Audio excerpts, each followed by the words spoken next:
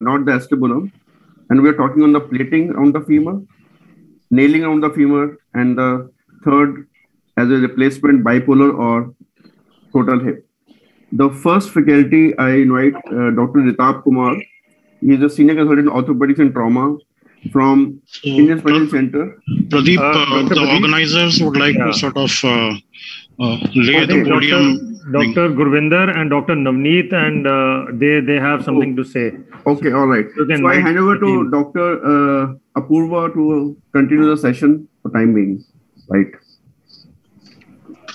Good morning, everyone. I'm Dr. Apoor Dua. Uh, I'm very privileged to be here on behalf of Department of Orthopedics, Dr. Babasaheb Ambedkar Hospital and Medical College, New Delhi. Uh, we have been given this opportunity to organize uh, uh, this second DOA quarterly meet under the guidance of Dr. Lalit Maini sir and Dr. Hitesh Lal sir. I know in this crisis situation and COVID scenario, it's really difficult for all of you to continue with the meet. I plead you all to be safe and stay at home and enjoy our energetic meet. With this, in, I invite our young and energetic head of department, Dr. Gurvinder sir, to commence the meet. please. Thank you, Apu. Very good morning to one and all present here. It's my ple- great pleasure to welcome you all to the second quarter quarterly meet uh, in, of Delhi Orthopedic Association on peritrochanteric fractures. This has been uh, hosted by our uh, hospital, uh, Dr. Babasaheb Ambedkar Medical College and Hospital. Firstly, I acknowledge organizer Dr. Lalit Maini, President of DOA, and Dr. Hitesh Lal, Secretary of DOA. Now I now I want to uh, lay a red carpet for our spe- speakers. Even though Dr. Shekhar Agarwal is not here, he's uh, he's ill. Dr. Pardeep Bageja is present here. Dr. Biswarup Sen, Dr. Ritabh Kumar, Dr. Puneet Jain is also ill with COVID. Dr. Simon Thomas and Dr. Samarth Mittal. Lastly, I appreciate our team efforts, uh, last commitment and effort uh, commitment by Dr. Uh, Goyal. He's MD. He's working round the clock for the COVID patients. He's uh, he's a great responsibility for that. And Dr. Samir Mehta. He's always part of our team. We can't miss him in any way. And lastly, Dr. Apur Mehta, young and energetic chap, my right hand, my everything. Now I introduce my topic. As we all know, uh, the proximal femur fracture uh, accounts for the major chunk of the fractures of, of trauma. These fractures involves from fracture neck of femur to the subtrochanteric fracture. Each of uh, each of these fractures require special method of treatment and have their own set of complication and controversies. Regarding the optimal me- optimal method of management, complication as we all know, complication like non-union, uh, malunion, and avascular necrosis. But the controversy still arises which implants to use, which not to use. That will be clarified by uh, lenient speakers. That they'll, they will further clarify what implants to use and what not to use. Now I invite Dr. Apur Mehta to further lead further. Apur, now it's your turn. Apur, unmute your mic. Apur, unmute your mic. Apur, Thank you, sir. Thank you, sir. Uh, now I request Dr. Navneet Goel, sir, to kindly welcome our esteemed faculty members. Uh, Good morning. Good morning, everyone. Uh, it's a really great pleasure to introduce the faculty. Video nahi was uh,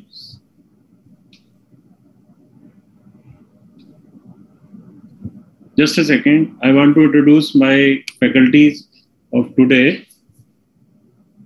Uh, Dr. Shekhar Agarwal, uh, who is a great name in the uh, replacement, and he has vast experience of 35 years in this field of orthopedics. Currently, he is working as chief surgeon and head of the joint replacement surgery at Delhi Institute of Trauma and Orthopedics. He has been performing knee replacement and hip replacement surgeries for last 25 years. He was amongst the first surgeon who pioneered the replacement surgery in India. Currently, he is the vice president of Indian Society of uh, uh, hip and knee surgeons, in which he was a founding member. Dr. Biswarup Sen, uh, senior consultant orthopedics and joint replacement surgeon, Max Shalimar Hospital. Uh, yeah. Dr. Sen ha- is having 21 years of experience uh, in orthopedics practice and uh, he's at Max Super Specialty Hospital. He has a lot of achievement like arthroplasty bucket, like uh, bucket of arthroplasty uh, surface replacement fellowship from Tettelden, Germany. He has been visiting fellow to Abu Dhabi Sports and Knee Injury Center, Singapore General Hospital, Tohoku University, Japan. With his vast experience, he specializes in the field of arthroplasty, arthroscopy, and trauma surgeries. Dr. Ritabh Kumar Mittal, uh, he is senior consultant and chief of the trauma services, Indian Spinal Injury Center, Vasant Kunj. Dr. Ritabh is having vast experience of 21 years. Presently, he is associated with Indian Spinal Injury Center, New Delhi as senior consultant. He is specialized in osteoporosis care, bone infection prevention and treatment, geriatric orthopedics, pelvic acetabular fracture, and periprosthetic fracture, post-surgical problem fractures, non-union and malunion treatment. Dr. Pardeep Bageja, who is senior consultant at Gangaram and vice president of DOA, joint secretary IOA, and trauma and knee replacement surgeon. Uh, he is having more than 22 years of experience and he did trauma and arthropl- arthroplasty fellowship from Birmingham and uh, he is senior clinical fellow with NHS Trust. He has also done trauma fellowship at Singapore. Dr. Samir Mehta, he is senior specialist and head of the department at Deep Chandu Bandhu, Deep Chand Bandhu Hospital, Delhi. So, Dr. Apur. Yes, sir.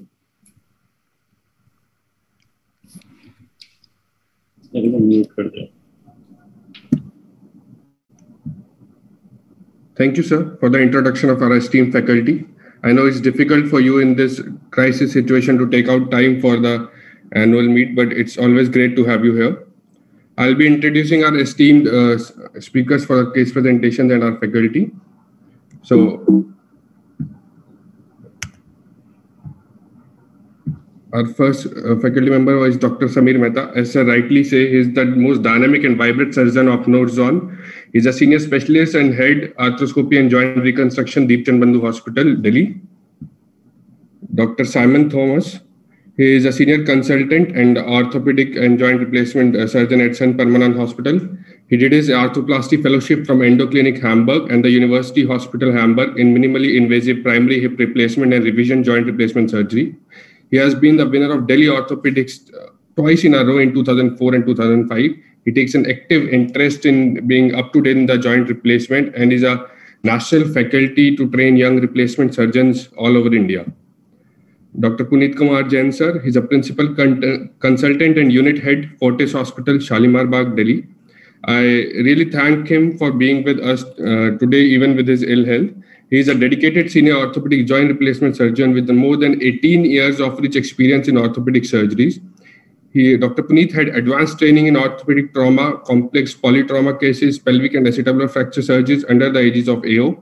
He is a faculty member involved in training programs of AO. He is specializing in management of complex orthopedic injuries, arthroscopic surgery, sports injuries, and replacement surgeries. Last, Dr. Samarth Matla, Dr. Samarth Mittal. He is an assistant professor in JPN Apex Trauma AIIMS, New Delhi.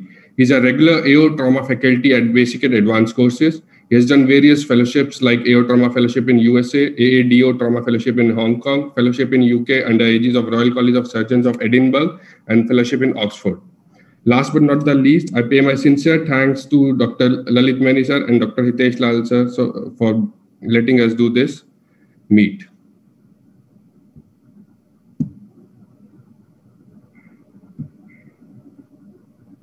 Sir, Dr. Pardeep Bageja, sir, can you please proceed with the meet? Uh, sir, you'll have to unmute yourself. Thank you, Apu, for the, all the introduction. Now we'll start our academic presentations. So I invite Dr. Ritabh for his first talk on nailing in the proximal fracture femur. Dr. Ritabh, sir, please.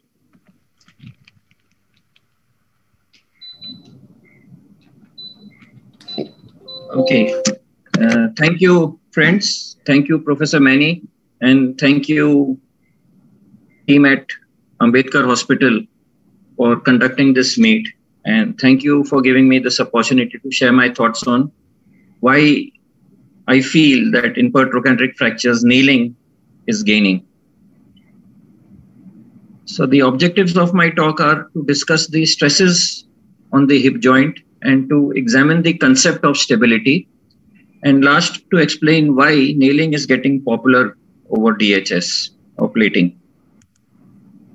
So if we look at the body weight going through the center of the body, the hip joint is offset at an angle of about 20 degrees.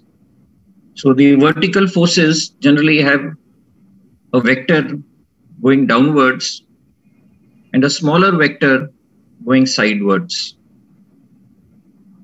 So when we look at an intertrochanteric fracture and look at this vertical vector and the fracture line, so the vector going downwards is fundamentally shearing the fracture, that is displacing it. And that small red vector going horizontally is the one that we help use in our osteosynthesis because that is the one that is perpendicular to the fracture and gives compression across the fracture or stability across the fracture. So when we look at the reverse intertrochanteric fracture, why is it the reverse intertrochanteric fracture? Because this is the fracture line and this fracture line is almost parallel to the neck. And when we look at the compression vector, the fracture line is almost parallel to the compression vector the shearing vector continues to remain disruptive. So if we see that both the vectors now cannot be utilized to our benefit, and the sliding hip screw is also parallel to the fracture line. So when both the vectors become shearing, this is classical example of a very unstable fracture pattern. Now, when we look at the deforming forces we have primarily three forces compression, that is the body weight acting at an angle which tends to shorten the limb. Then we have a bending moment because of the offset position of the hip. The body weight tends to cause angulation at the fracture site.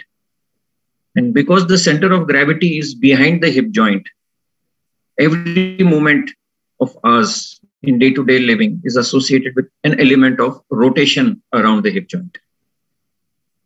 When we look at the loads on the hip joint during the upright posture, during mid stance, the forces across the hip joint are as much as a single body weight. During toe off, they become almost five times the body weight. And during fast running, as high as eight times the body weight. So the forces across the hip in the upright posture are very high. Very frequently after surgery, we prescribe rest to the patient. So simple activity like lifting the pelvis for bedpan also transmits almost half times the body weight forces across the hip. The torsional stresses during this simple movement of lifting of the pelvis for bedpan, the forces are equivalent to the body weight if we do a simple hip flexion exercise in bed or hip abduction exercises, the forces are reasonably high. So to sum it up, the forces across the hip are high to moderate, even if the patient is in bed. So this brings us to the concept of stability. So primarily there are four pillars of stability, like the four legs of a chair in intertrochanteric pertrochanteric fractures, one of the crucial factors is density of the cancellous bone in the femur head. Now, this is a parameter not in our control. The second parameter which determines stability is the fracture pattern, again, not in our control. So, what is in our control in this is how well we achieve reduction or get bone to touch bone across the fracture And the fourth is how well we choose our implant and position it to reduce this con- concept of moment arm, which I will allude to in a short while from now. So when we talk of stability and cortical bone contact, when bone touches bone across the fracture, the loading on the implant is reduced. And if bone is not touching bone, any implant placed is under excessive stress, almost 160% more than the normal stresses across the hip joint. So, how does one establish this cortical contact? Now, this is a surgical endeavor. It can be anatomical or non anatomical. When we were doing residency, we were using DHS exclusively and tried to do anatomical or compromise non-anatomically by doing the medial displacement osteotomy, the Dimon Hughston or the valgus osteotomy or the lateral displacement reduction, which has a passing mention in literature. This I've mentioned only for the sake of completeness. So the essence of today is bone is the most strongest under compression and what determines reduction what determines this quality of contact is our quality of reduction. And this reduction should be anatomical so that at the end of the day, the proximal femur morphology is maintained. We do not want a malunion. Malunion will translate into loss of function. So we should aim at anatomical reduction, and this is a surgical technique. Now, when we talk of the moment arm, this is the concept of moment arm. You can see two lines, one yellow and one blue. So it is lower. Moment arm is lower in a nail because of the position of the nail in the intramedullary region. So what this does is there is a more efficient load transfer from the nail, from the lag device to the nail. So when we look at the lag device, lag device is the load bearing device in the head of the femur. So when we look at the DHS, the size of the lag screw is 8 mm thick. When we look at the Zimmer nail, it is 10.5. We look at the Synthes PFNA blade, it is 12 mm into 10.5 because it's a helical blade. And when we look at the integrated screw of the uh, Smith and Nephew, it's 15.25. So the lag device by design is stronger in the nails. So why is this lag device important? Because this is the load bearing device in this small fragment of the head. And the most critical region in this lag device is its tip. That's the most critical region of the fixation. That's where the loosening begins. So loosening here depends on two things. One is the length of the screw. So one can see that the length of the screw in a DHS is much longer compared to the length of the screw with respect to a nail, the moment arm. And the second, second important thing that determines the hold is the stiffness, the stiffness of the lag screw. So the movement is inversely proportional to the stiffness. So DHS is 8 mm, whereas spiral blade is almost 12 mm. So these two factors combined make the lag device and the nail construct deform much less given the same stresses. So lag screw loosening is much less after nailing. What does the lag screw do? Is that the weight transmitted through it is sent to the nail, which the nail then distributes on the lateral aspect of the endosteal surface along the lateral cortical wall unif- uniformly across the length of the nail. So this uniform distribution is very crucial. And the other thing that a nail does is that it takes the help of the distal fragment, the subtrochanteric bone, into account. And it puts compression on this fragment, just like a person sitting on a chair. So the subtrochanteric bone becomes a supporting buttress. And when bone touches bone, implant loading is reduced by almost 70%. And the lateral cortex comes under compression because of the lag screw. And this is a very favorable condition for bone to be in. So the lateral cortex subjected to compression enhances the stability of the nailing device.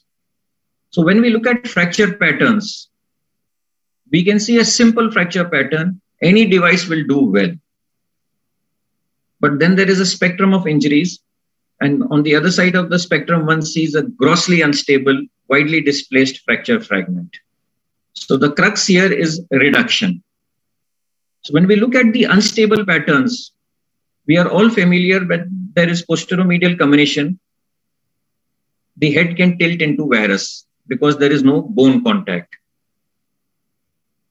When we look at the reverse intertrochanteric fracture, like I previously alluded to, the lag screw is parallel to the fracture, and this makes the fracture unstable. When we look at fractures with subtrochanteric extension, there are fracture lines extending proximally into the piriformis fossa and fracture lines extending distally into the cortical bone. So each area has its own unique challenges, which make this a special subset of fracture pattern. The fourth pattern is what we call the lateral wall fracture, and it's the proximal extension of the shaft fragment. And what does it do? It helps provide the buttress to compress the fracture against and prevents excessive sliding. So this is these are two fracture patterns showing a thicker lateral wall in the upper picture and a thinner one, thinner lateral wall in the lower picture. And when this bursts, what happens is we convert a simple intertrochanteric fracture into a reverse oblique intertrochanteric fracture. So the fracture has definitely united, but it has malunited. The proximal femur morphology has changed. So th- there is no radiological failure here, but the patient is still unhappy. Reverse oblique variant is another unique fracture pattern. The AP view looks innocuous, but the real problem is appreciated in the lateral view, where the fracture line is extending from proximal anterior to distal posterior, and that's the direction of the lag screw.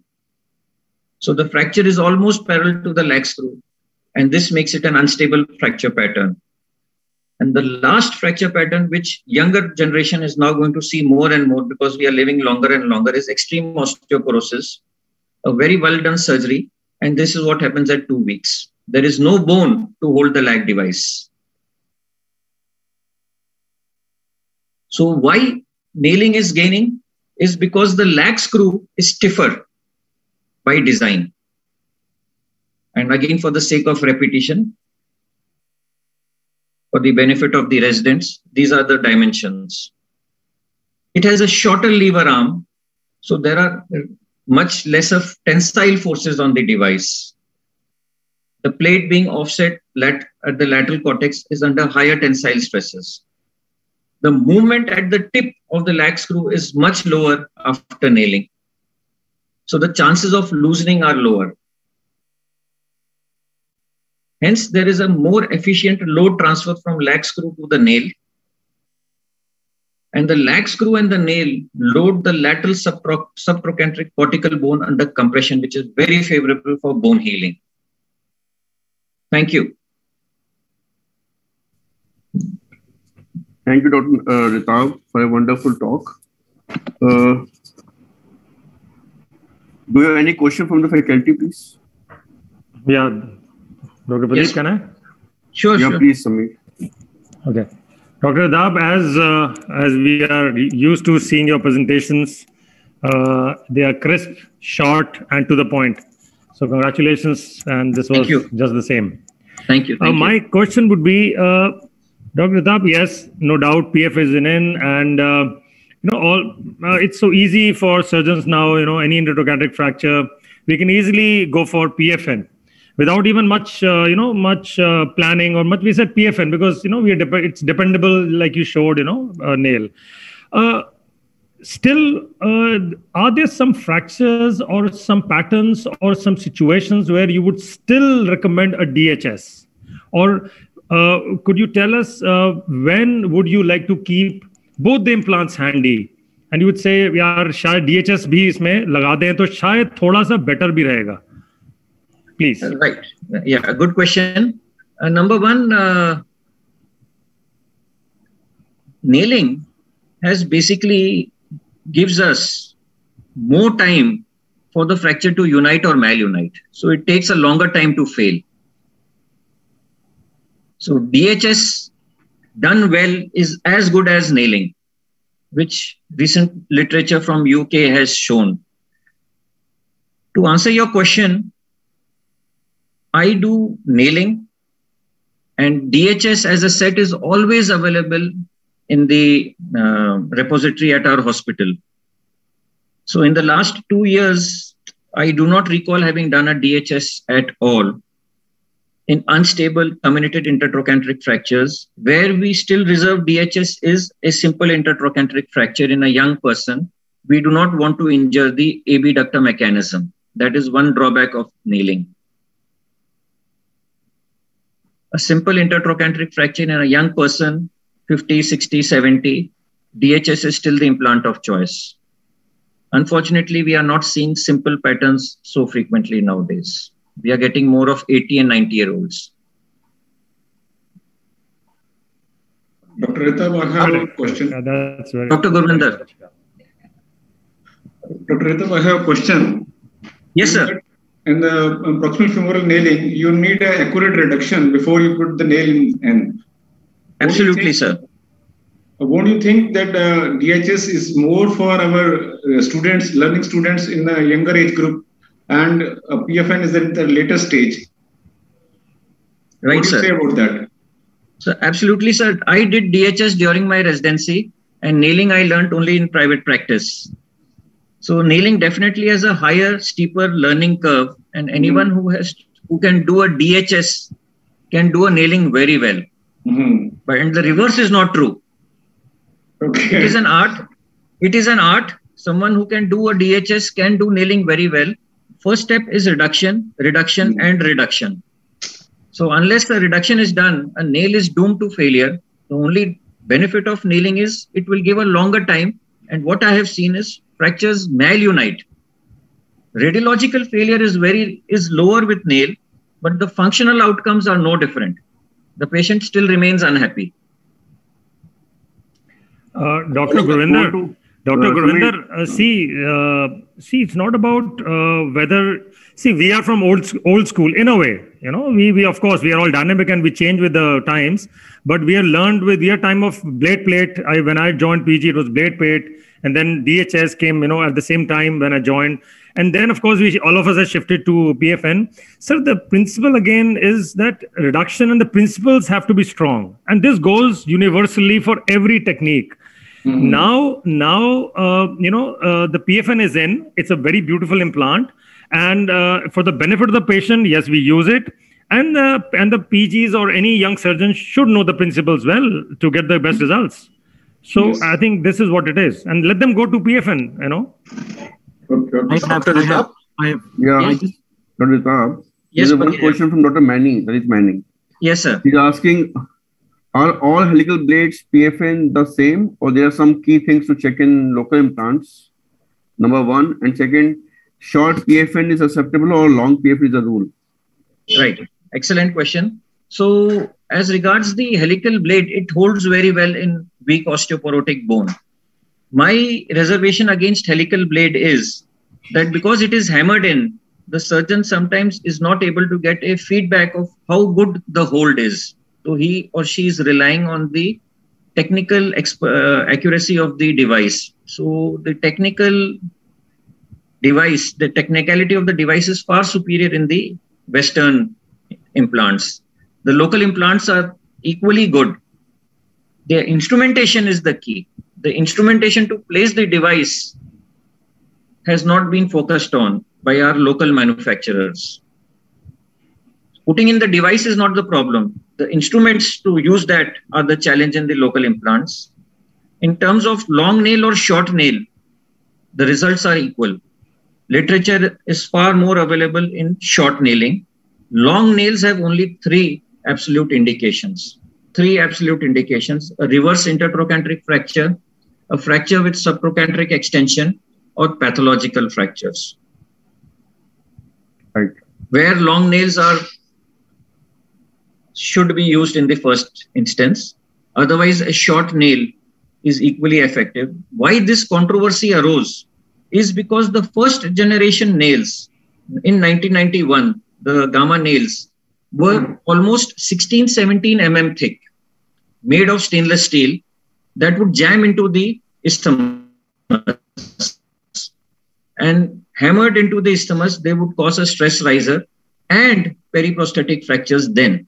Modern nails have beveled edges and are far lower in profile and periprosthetic fracture following the newer generation nails, the incidence is very, very low. So the controversy arose because of a nail in 91, and that is no longer used nowadays. Ritabh, can I ask one question to you? Yes. One question from my side, uh, Ritabh, Dr. Bageja. Yes, yes, Baggy. Yes, yes. So, there's something called as lateral wall concept. If lateral wall is broken, Yes. that means a contraindication for DHS. You have to go for PFN, right? Other patterns like reverse and there is a unstable fracture, you go for PFN. But in my practice, I've used, I've seen people using DHS with the good results also.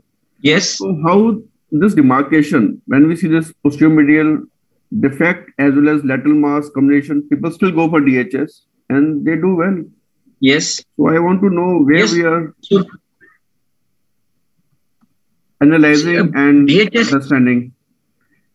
that's what I was saying, Baggy. Uh, if we do the DHS, like Dr. Gurvinder said, if we have to do an open reduction before doing the DHS, we are ma- matching the anterior walls because the medial wall is absent. The posteromedial fragment is gone. So we are matching the anterior wall of the femur. So the moment the anterior wall of the head and the uh, subtrochanteric fracture touch each other, whether we put a nail or DHS, both will do equally well. When it comes to lateral wall, when the lateral wall is thin, there is a chance that during the triple reaming, we may end up breaking it. So, what I have done prophylactically is I have placed cerclage wire around the abductor mechanism. We have the uh, plates available. I have not used those plates to place against the uh, abductor. Buttress plates, Madoff plates. But uh, we have done cerclage. Earlier, we used to do cerclage using wire. Now we do it using ethibond or fiber wire, which reduces the metal uh, amount of metal inside. And the results are equally good. This is cancellous bone. If it remains stable for first four, six weeks, it will unite. The question is reduction, reduction, and then how we maintain it for the first four, six weeks. So DHS My is equally effective. If I'm given a DHS to do in a subtrochanteric fracture, I will do it. I will not say I cannot do it, or if I do it, it will fail. That is a failure of principles, surgical technique, not of the implant. So even when we find these two things, we can plan for DHS. If it is Absolutely. anterior, reduction is done. Yeah. Absolutely, Yes. absolutely. And in, in your in your practice, like when you choose PFN, you prefer two screws or you prefer helical blade? What you prefer normally? Which Right. PFN you prefer? Yeah. So PFN is available in two forms, one two degrees, 130 and 125. Yes. It is important to realize that as we age, our neck shaft angle is reducing.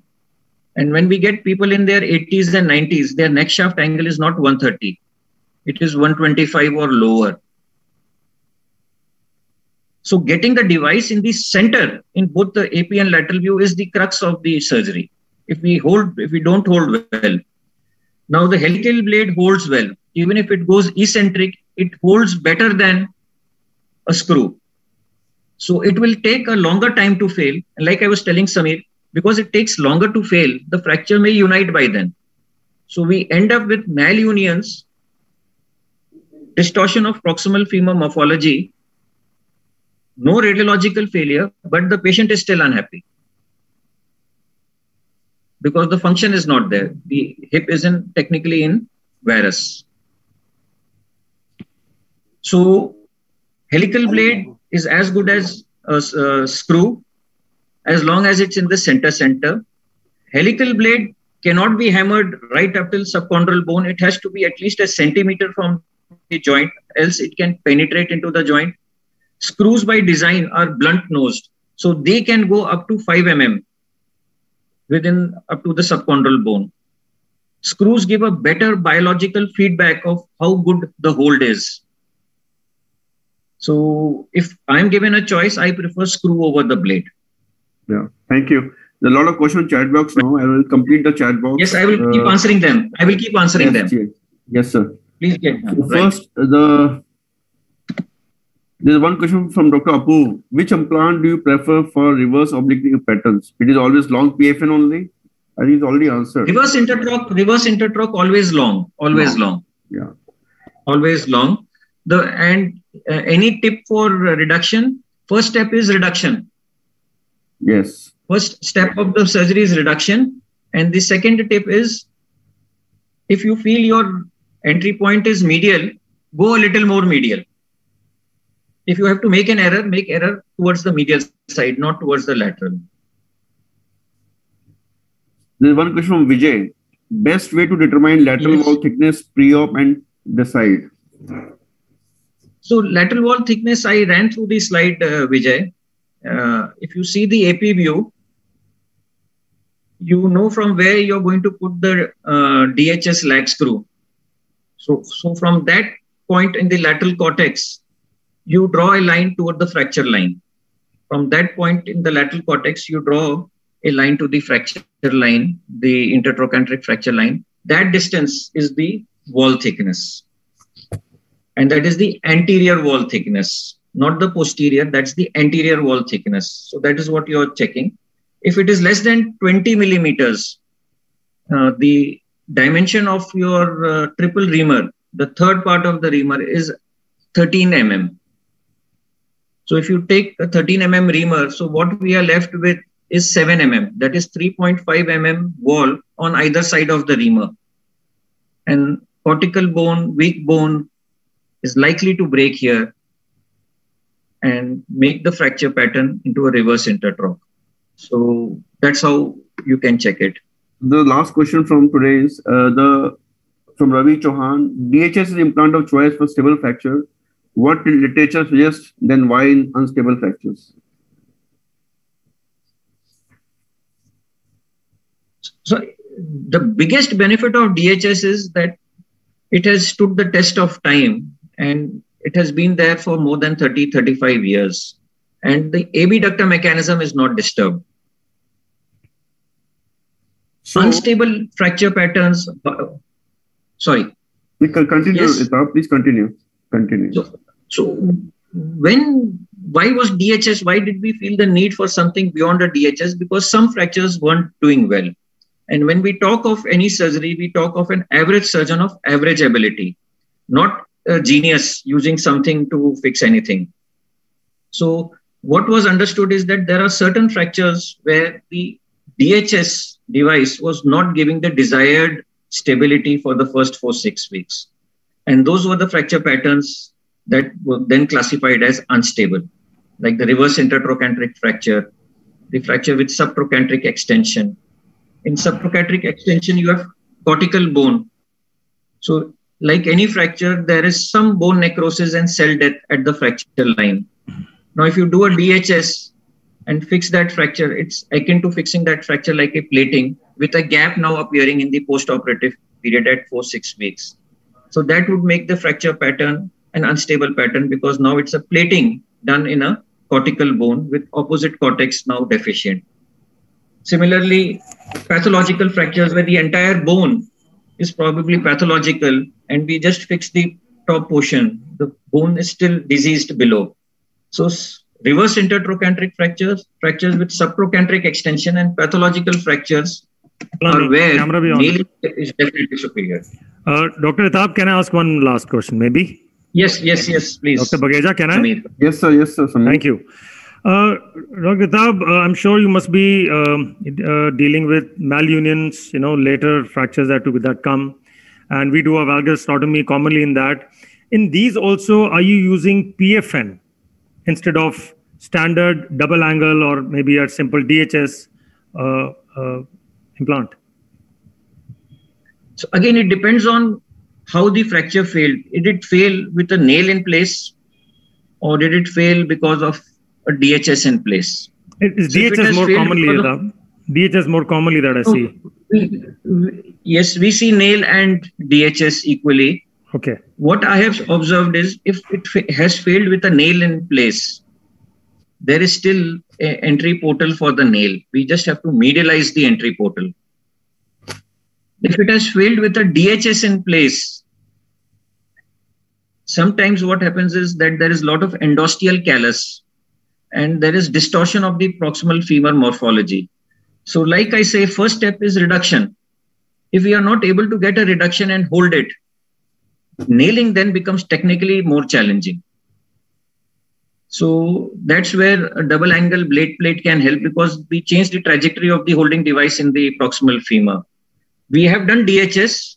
What we have done different is just impacted allograft into the previous hole and then subsequently done a DHS. A DHS helps us valgize the uh, distal fragment also. The modularity with DHS is far superior. Blade plates are technically more demanding. You have to be very precise from the very first step else things just go wrong. Hmm. so it depends on what we are doing uh, the uh, malunion surgery for. Yeah.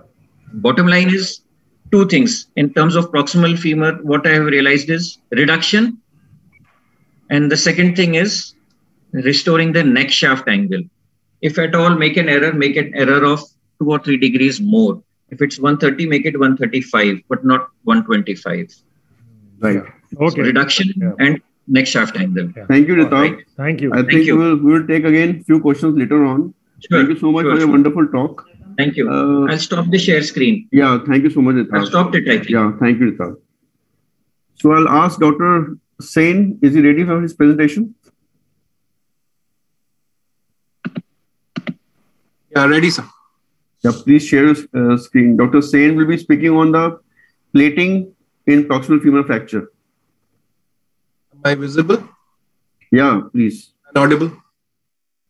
Yes, Dr. Sen, please continue. Uh, thank you to everybody, the team from BSA, Dr. Lalit, Dr. For providing me this opportunity to speak today at the DOA meet. Uh, we are going through trying times and the way things are going, the next time round we might be speaking on the morbidity and mortality of orthopedic surgical practice. That is uh, in the COVID times. But as of now, let me go over to plate osteosynthesis and proximal femoral fractures. Um, Dr. Ritabh has laid down why a nail is winning the race, and I agree with him that in most of these fractures, it is the nail which uh, is more recommended and more better treatment to be done. But there are certain situations where uh, a plate osteosynthesis might make a bit more sense. Uh, I, I'll be principally dealing with two kinds of fractures. One is the intertrochanteric fractures, and other is the subtrochanteric fractures, as most of us know pretty well. Uh, these two fractures, they behave a bit differently. Some of the intertrochanteric fractures uh, that we see, uh, where union is likely, there is a good cancellous bone there. Uh, there is a lot of vascularity.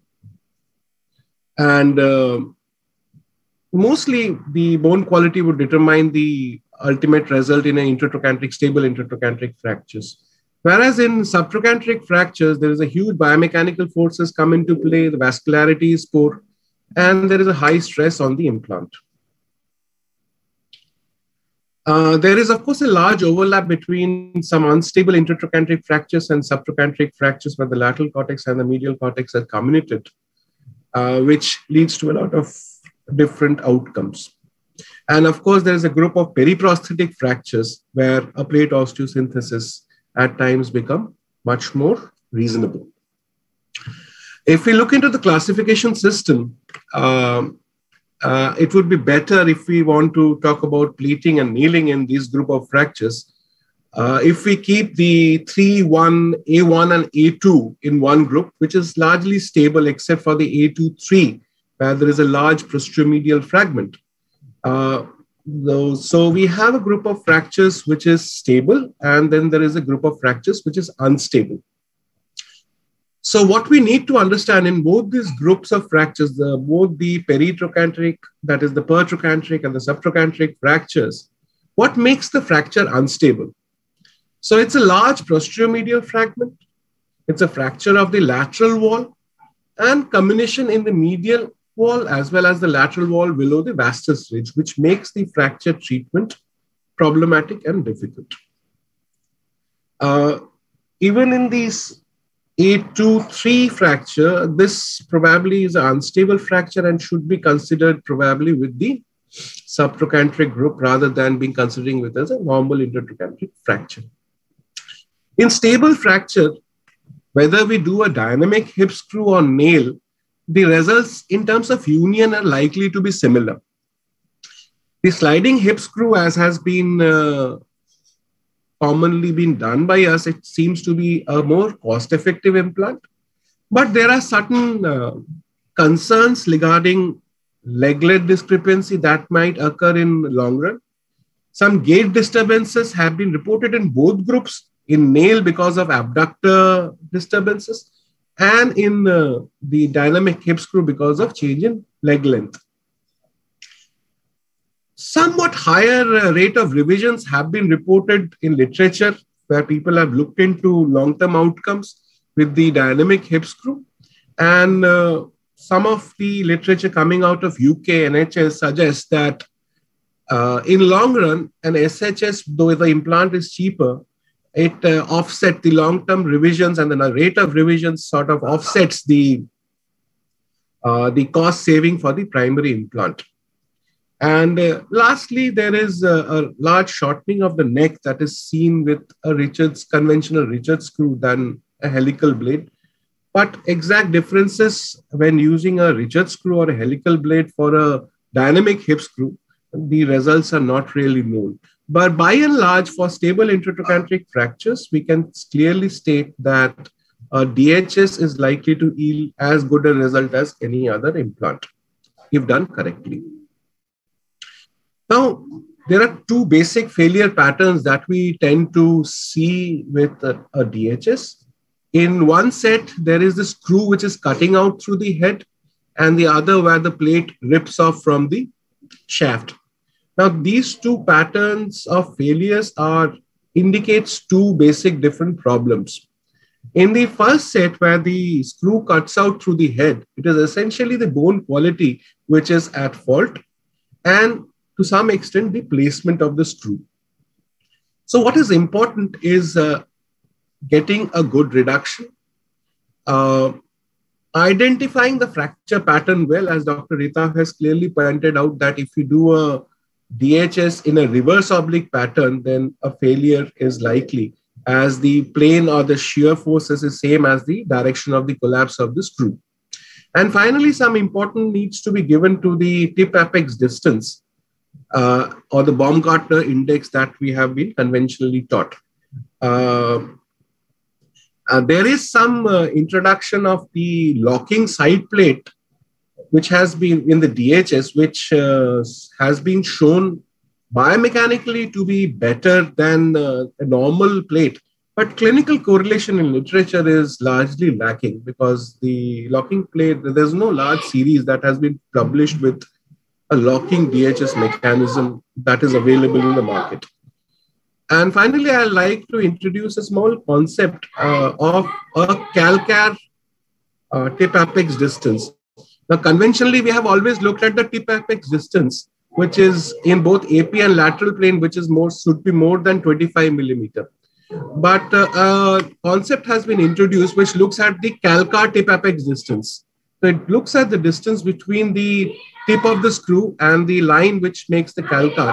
If it is less than 20 mm, it has been suggested the rate of failure is significantly lower. Uh, literature doesn't show much difference between these two things, but uh, it seems overall that uh, the both things will uh, do equally good enough. Now, looking at a particular series of case, there is an angled blade plate which is available. And uh, this particular case, a nail has failed because it has cut out through the proximal uh, the head. Now, angle blade plate is a good device which uh, allows for uh, dealing with this particular difficult situations. Now, as Dr. Ritabh had clearly pointed out, angle blade plate is a very stable implant, but it needs a huge amount of precision to be able to place this implant correctly. It has to be placed exactly, eh, it doesn't allow for the comfort of placement as uh, a DHS screw is much significantly easier to put than an angle blade plate implant. And it is uh, clearly more useful in doing osteotomy and valgus osteotomy like situation. Um, now, going into the unstable fracture pattern and subtrochanteric fractures, we have to understand the forces that are causing problems in this fracture. Uh, we clearly know that the proximal fragment has attachment of the abductors, the short external rotators, and the iliopsoas, which uh, takes the fragment into this kind of position. And the distal fragment has an attachment of the adductor muscles, which pull it up and in.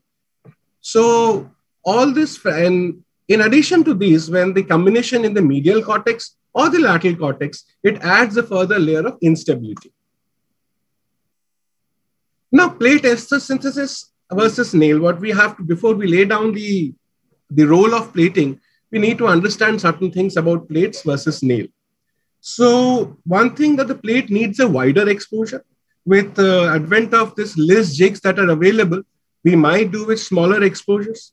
There, with wider exposure come loss of vascularity. So role of indirect reductions, even while using plates, is important. Plates allow for an easier establishment of the overall alignment of the limb. Uh, as we have moved from doing absolute reductions to doing relative reductions, functional reductions. Uh, plates offer us the ability to, uh, as a, the plate itself can be used as a device to get some reduction. Plates are not load sharing, especially if the fracture pattern is unstable and we have not been able to restore cortical continuity. Uh, plates are more prone to bending forces. And finally, nails, as we know, are biomechanically superior. But uh, besides all this point, we still have a role for plating in the proximal femoral, even unstable fractures. Now, indications of plating.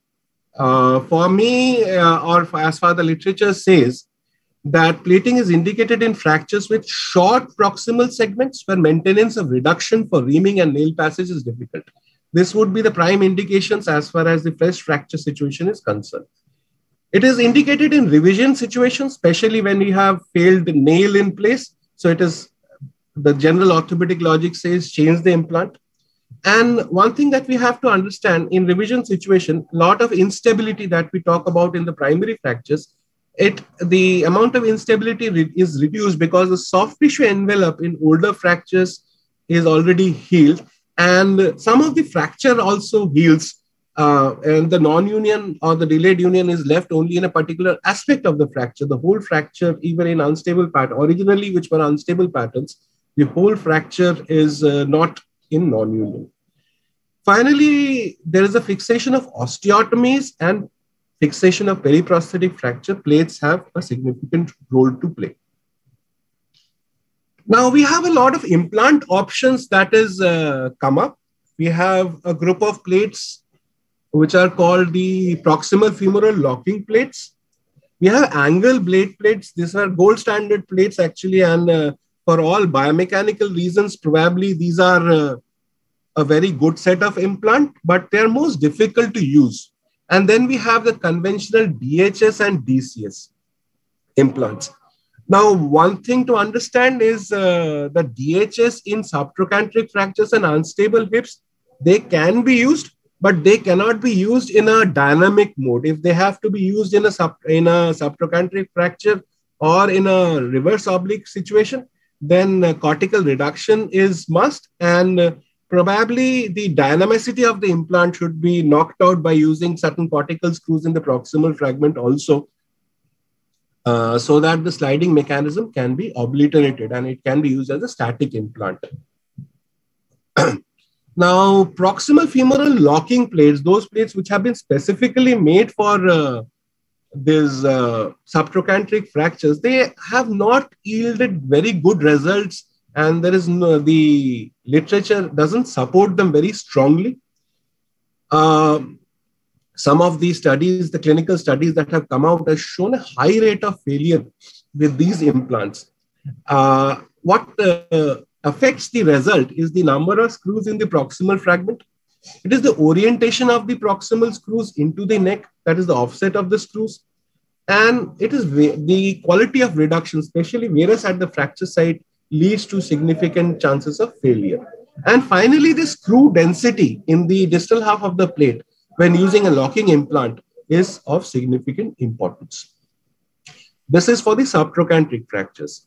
Uh, they are normally even higher rate of failure has been seen with PFLC implants in trochanteric fractures. So they are generally not recommended. A DHS, if somebody is to plate, a DHS seems to be a much better implant than uh, the locking plates that are available. Now, there is a lot of uh, literature that has come up, and we have that's the implant that we have been commonly using is the reverse uh, locking plate, uh, distal femoral locking plate for subtrochanteric and failed intertrochanteric fractures. The original reports that came up, they started using these plates for uh, subtrochanteric fractures with piriform extension into the piriform fossa, because in those days the uh, the nails would have a piriform fossa entry. They were also recommended for deformed femurs in adolescent skeletons where the physis is open and for small skeletons and narrow canals. A lot of literature has also come up in uh, using these plates in non-union and in revision situations where we require compression across the fracture site. This is a particularly good example where uh, a nail which is uh, done and uh, it is coming up in a few months down the line in a hypertrophic non-union kind of situation where a plate can yield very reasonably good results. What is important is to ensure that uh, the number of screws and the orientation of screws in the proximal fragment uh, all the reduction has to be controlled nicely and the principles of using a locking plate for a shaft at the metaphyseal region has to be respected in terms of the distance of the screws from the fracture site and the density of the screw in the plate. One very important aspect uh, while using this uh, distal femoral plate in proximal femur is that uh, the the proximal part of the, the plate is essentially designed for distal femur and it is not designed for the proximal femur. So once we try to get the screws into the neck, it might always not be possible uh, because the anatomy might differ from person to person. And uh, so there are two methods uh, that has been suggested in the literature for this. One is, of course, using a variable angle distal femoral locking plate, which can allow us to get our screws into the neck to have a better hold. And the other possibility eh, that has been suggested in the literature is to put a unicortical screw into the distal fragment first, and then allowing us the proximal part to swing a bit so that we can get more screws into the neck. One significant problem that uh, is observed with using this uh, list, uh, the distal femoral locking plate for proximal femoral fracture, is a lot of the pain in the trochanteric aspect because the plate can become prominent in this area.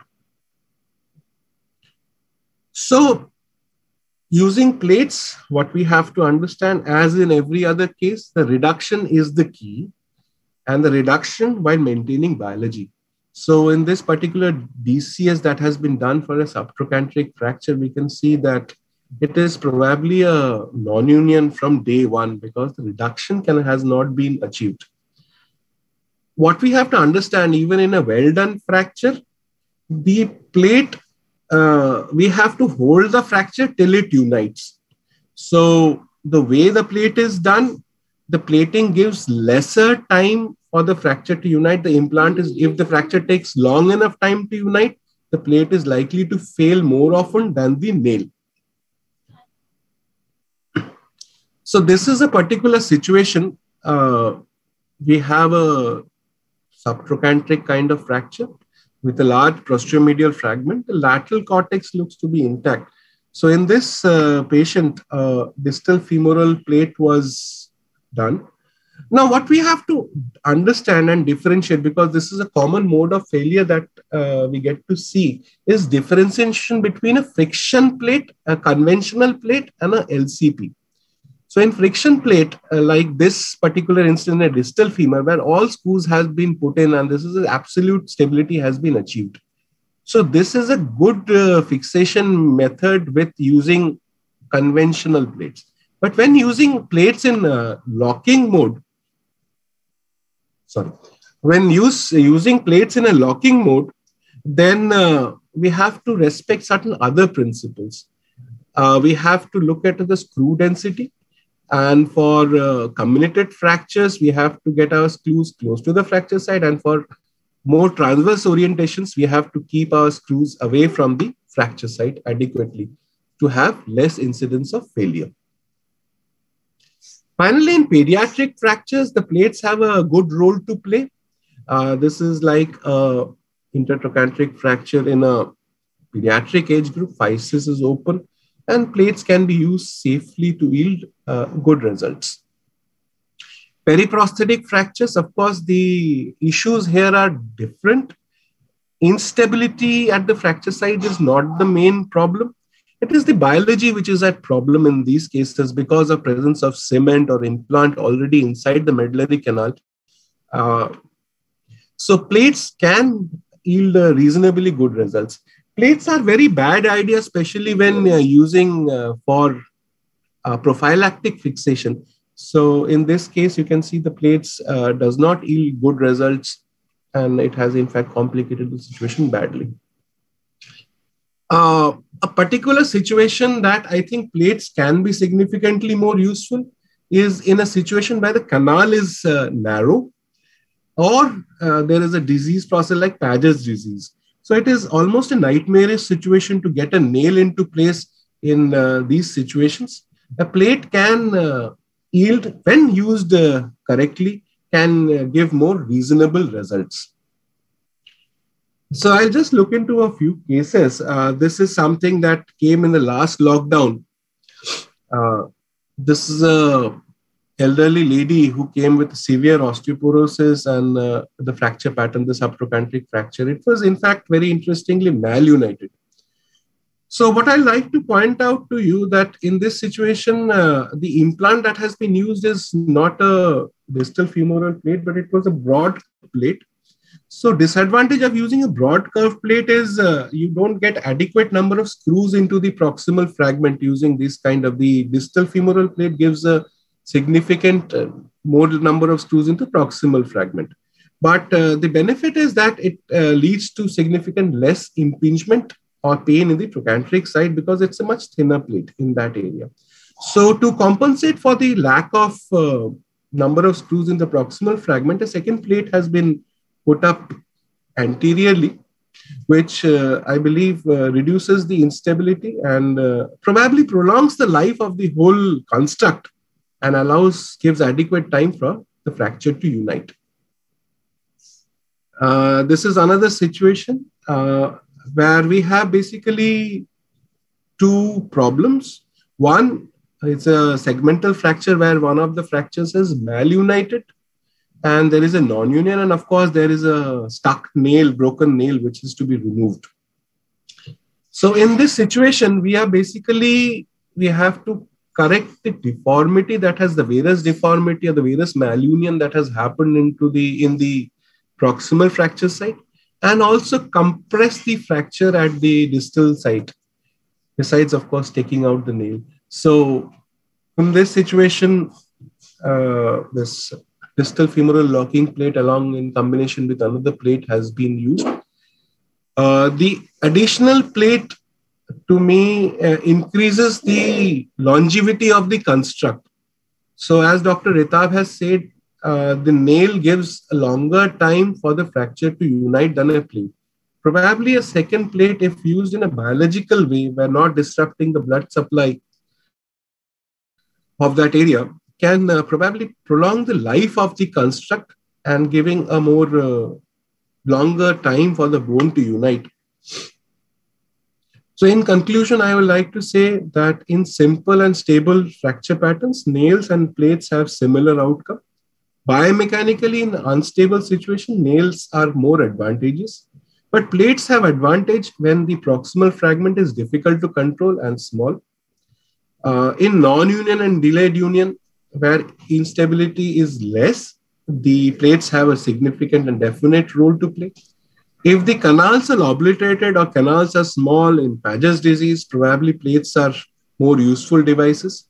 And specifically when we are doing osteotomies, an angle blade plate can be a very useful device. Thank you. And thank you, Dr. Sen, for a wonderful talk. And I want to ask you one question now.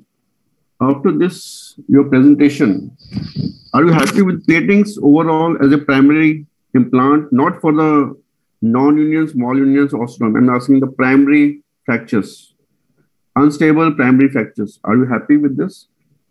Uh, in primarily the plate in my practice the number of plates that i am doing for a primary surgery the number is very very small. It would be a very rare situation. Uh, for me it is primarily being used in a case where uh, in a revision situation that is where i'm using. So your your uh, experience is even towards PFN or DHS for primary fractures. Am I right?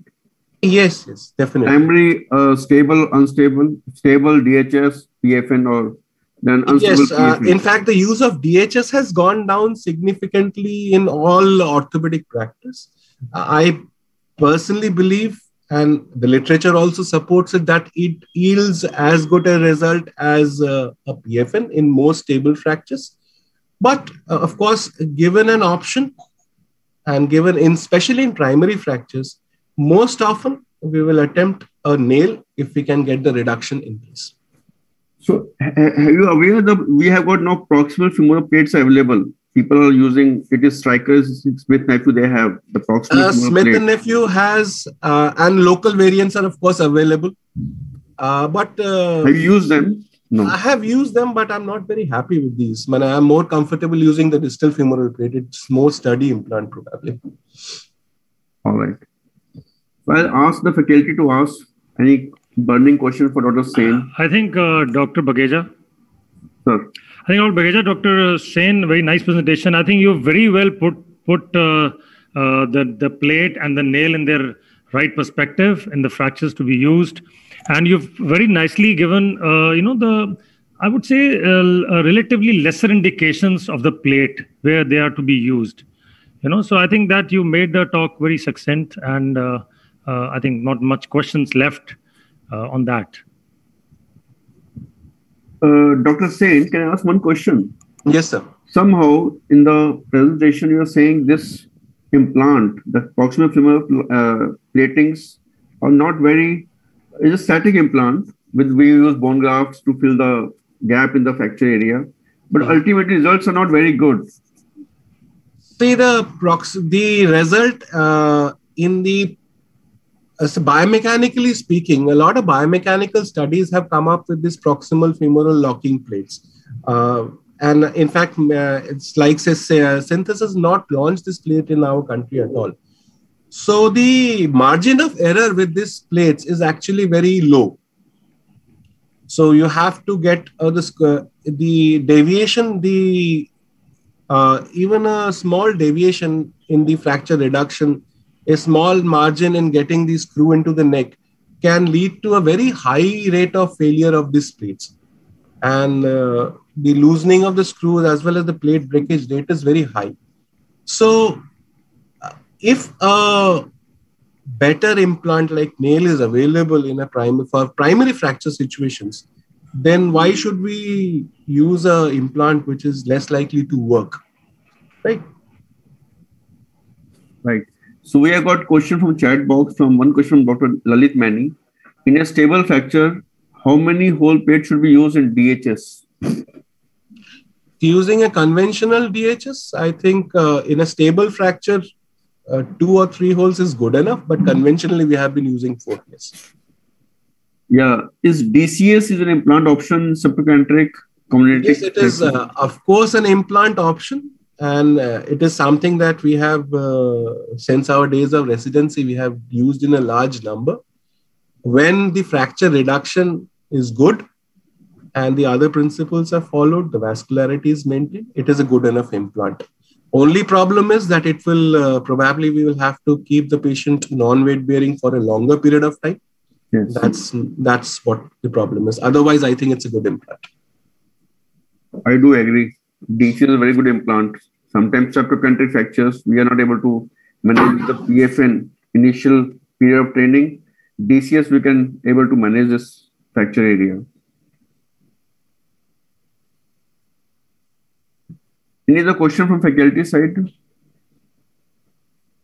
Thank you, Dr. Sen. We'll go to the next talk Thank you, sir. and we'll end up again with a lot of questions. End of the session with you. Thank you, Dr. Sen.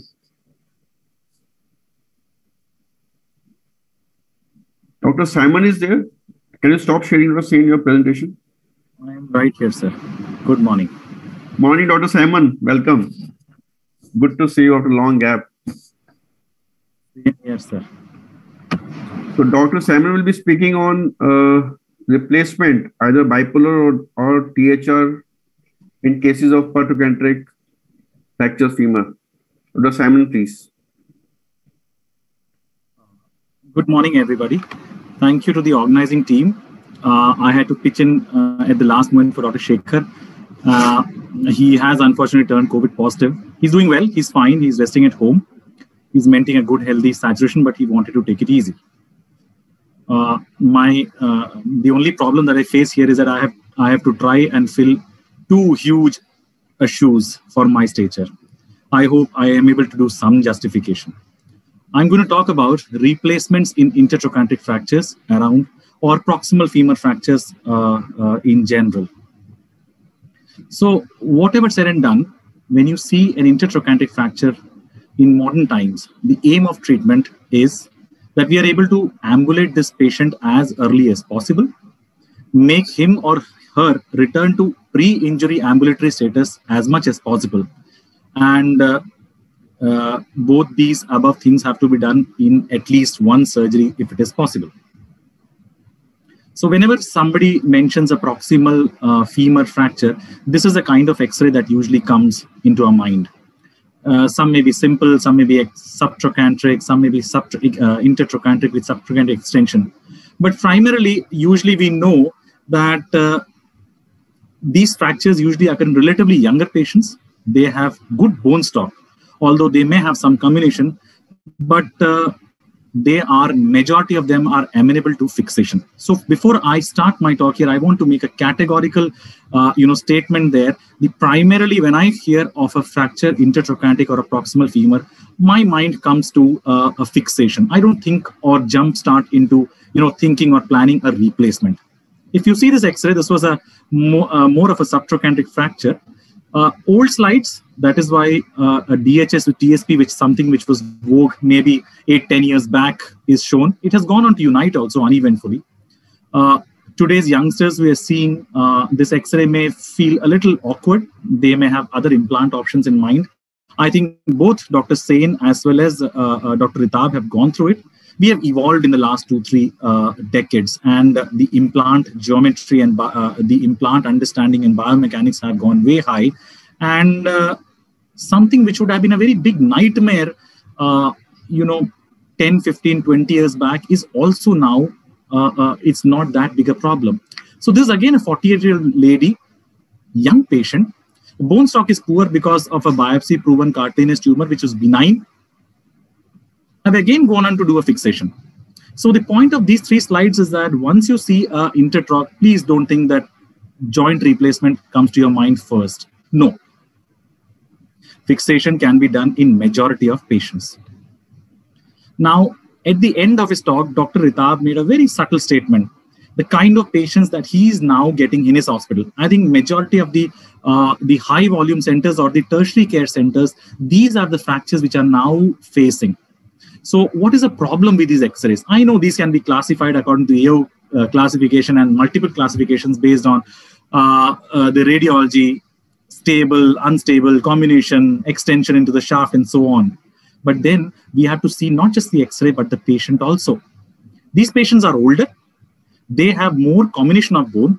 They have severe osteoporosis. Some are treated, some are primary, some are secondary osteoporosis and uh, the implant hold is is not great and we have all been taught once you do an implant in any patient it's a race between fracture uniting and the implant failing and we want the implants and fixation to win.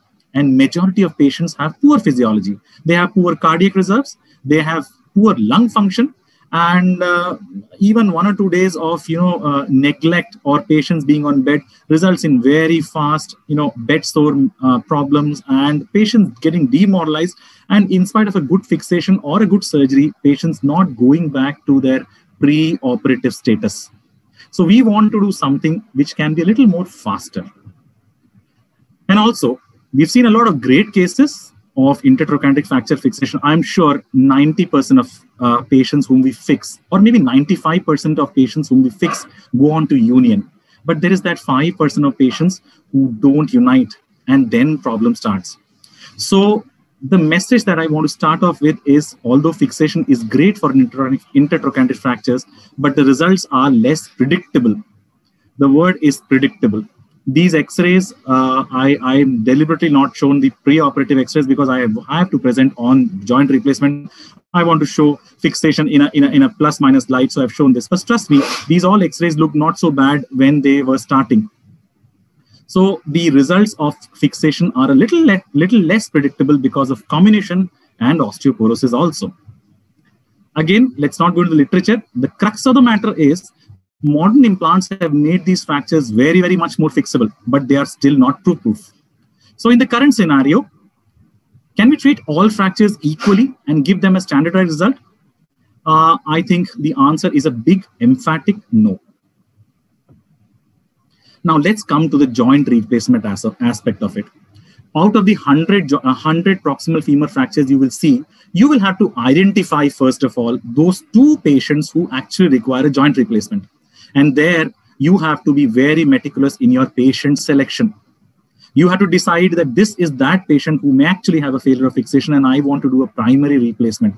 So again, I reiterate at the uh, you know at the cost of repetition, don't jump into a joint replacement for any intertroch fracture. Once you have identified that fracture, like this old lady on bed for some time, you know, I wanted to mobilize fast. The next step that I think of is a good pre-operative planning. I need to decide what I want to do. And once I've decided, I have the armamentarium in place, my uh, uh, the all the paraphernalia in my mind, I have on table. Then I have to execute it on the table meticulously. In fact, if you on the philosophical point of view, I think this is what you should be doing for each and every case that you say uh, that you see in your practice. Patient selection, preoperative planning, and execution of your plan. Indications of replacement what happens what happens to you when a patient who's very young uh, who has been following with you for the last two years uh, intermittently got a, some core decompression done elsewhere and subsequently developed a fracture subtrochanteric region after a core decompression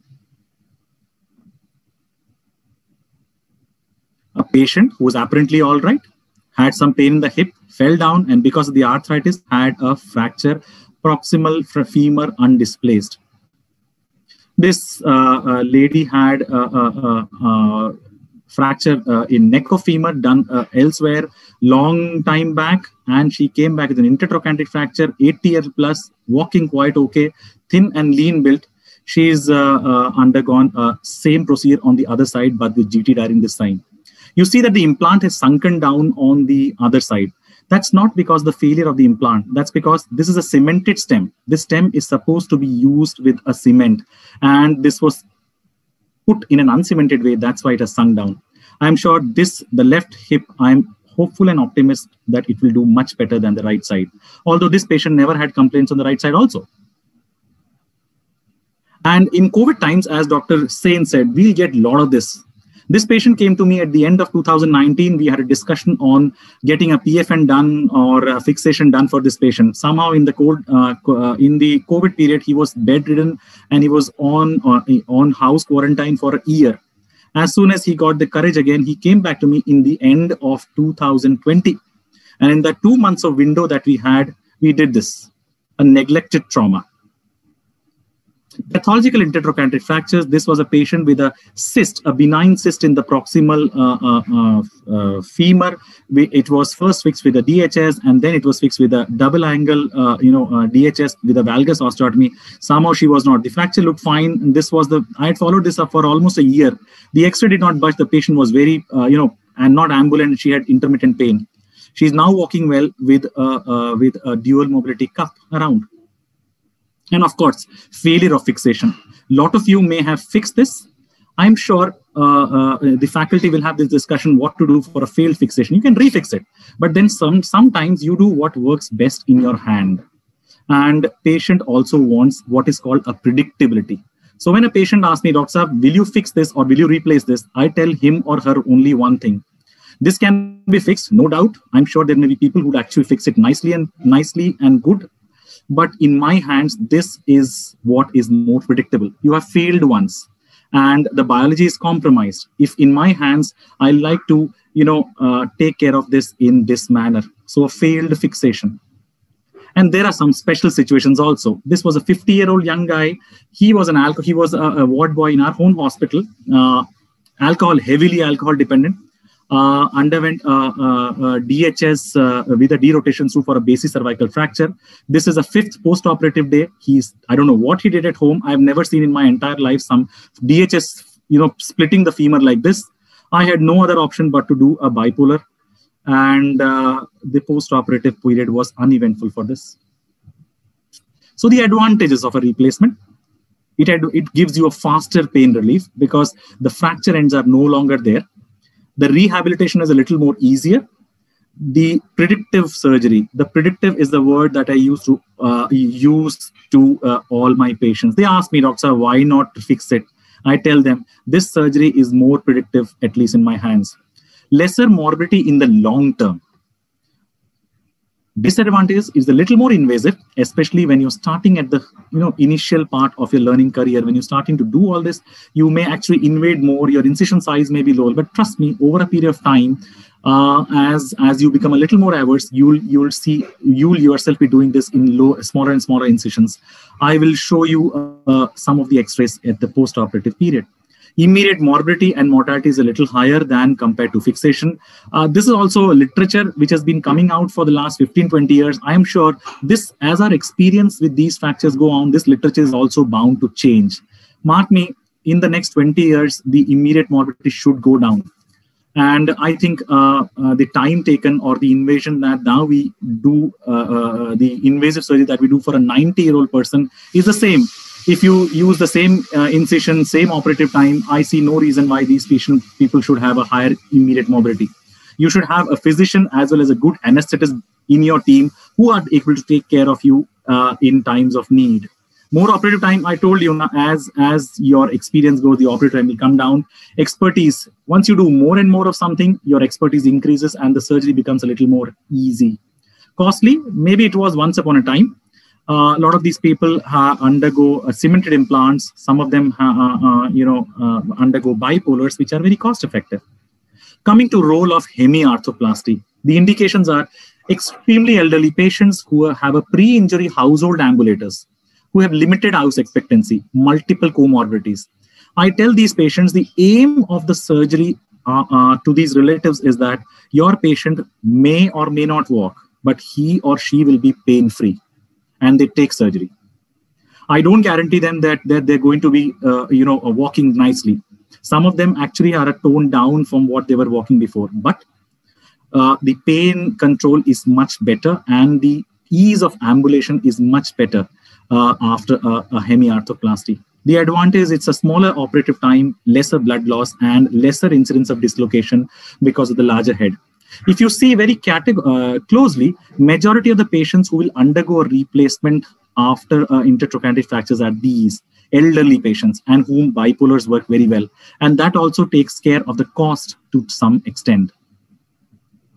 Now we have decided that we are going to do a replacement. The issues that you will face or see in your practice are which approach do you want to take? Which implant do you want to use? How will you assess the anteversion? Calcar, I think it is an overrated uh, uh, concept. Uh, I uh, uh, we will have a discussion on this if it comes. And the last and not the least, you have had an implant in order. You have to reconstruct that the abductor mechanism, like the proximal femur, uh, proximal humerus fractures or the PHILOS. Whenever I see shoulder surgeons talking about them, they are not worried about the plate itself. They are worried about reattaching the tuberosities, getting the cuff in order in this surgery also actually your half of the job is only done when you have the implant in place. Then the rest 50% is how nicely you put back the abductor mechanism. And that will that will make uh, uh, you confident to ambulate the patients uh, um, next day as well as uh, prevent failures on your hands. Uh, this is again an old slide i borrowed from dr shekhar himself. And uh, the the incisions actually were uh, were different once upon a time for uh, surgeons who wanted to go by a Hardinge's approach versus surgeons who wanted to do by a, a, a posterior approach. But I think in modern times we are giving almost the same incision, uh, and uh, the incision does not change at least in my practice, and this gives me the versatility to choose my approach once I'm inside. I see the comminution level, and usually whenever you go for a joint replacement in these uh, uh, in these uh, fractures, you will find there's a constant supro-posterior, postero-superior fragment which is there, and I go into the fracture through that or the trans-trochanteric approach. It is not the classic trans-trochanteric approach as told by Charnley.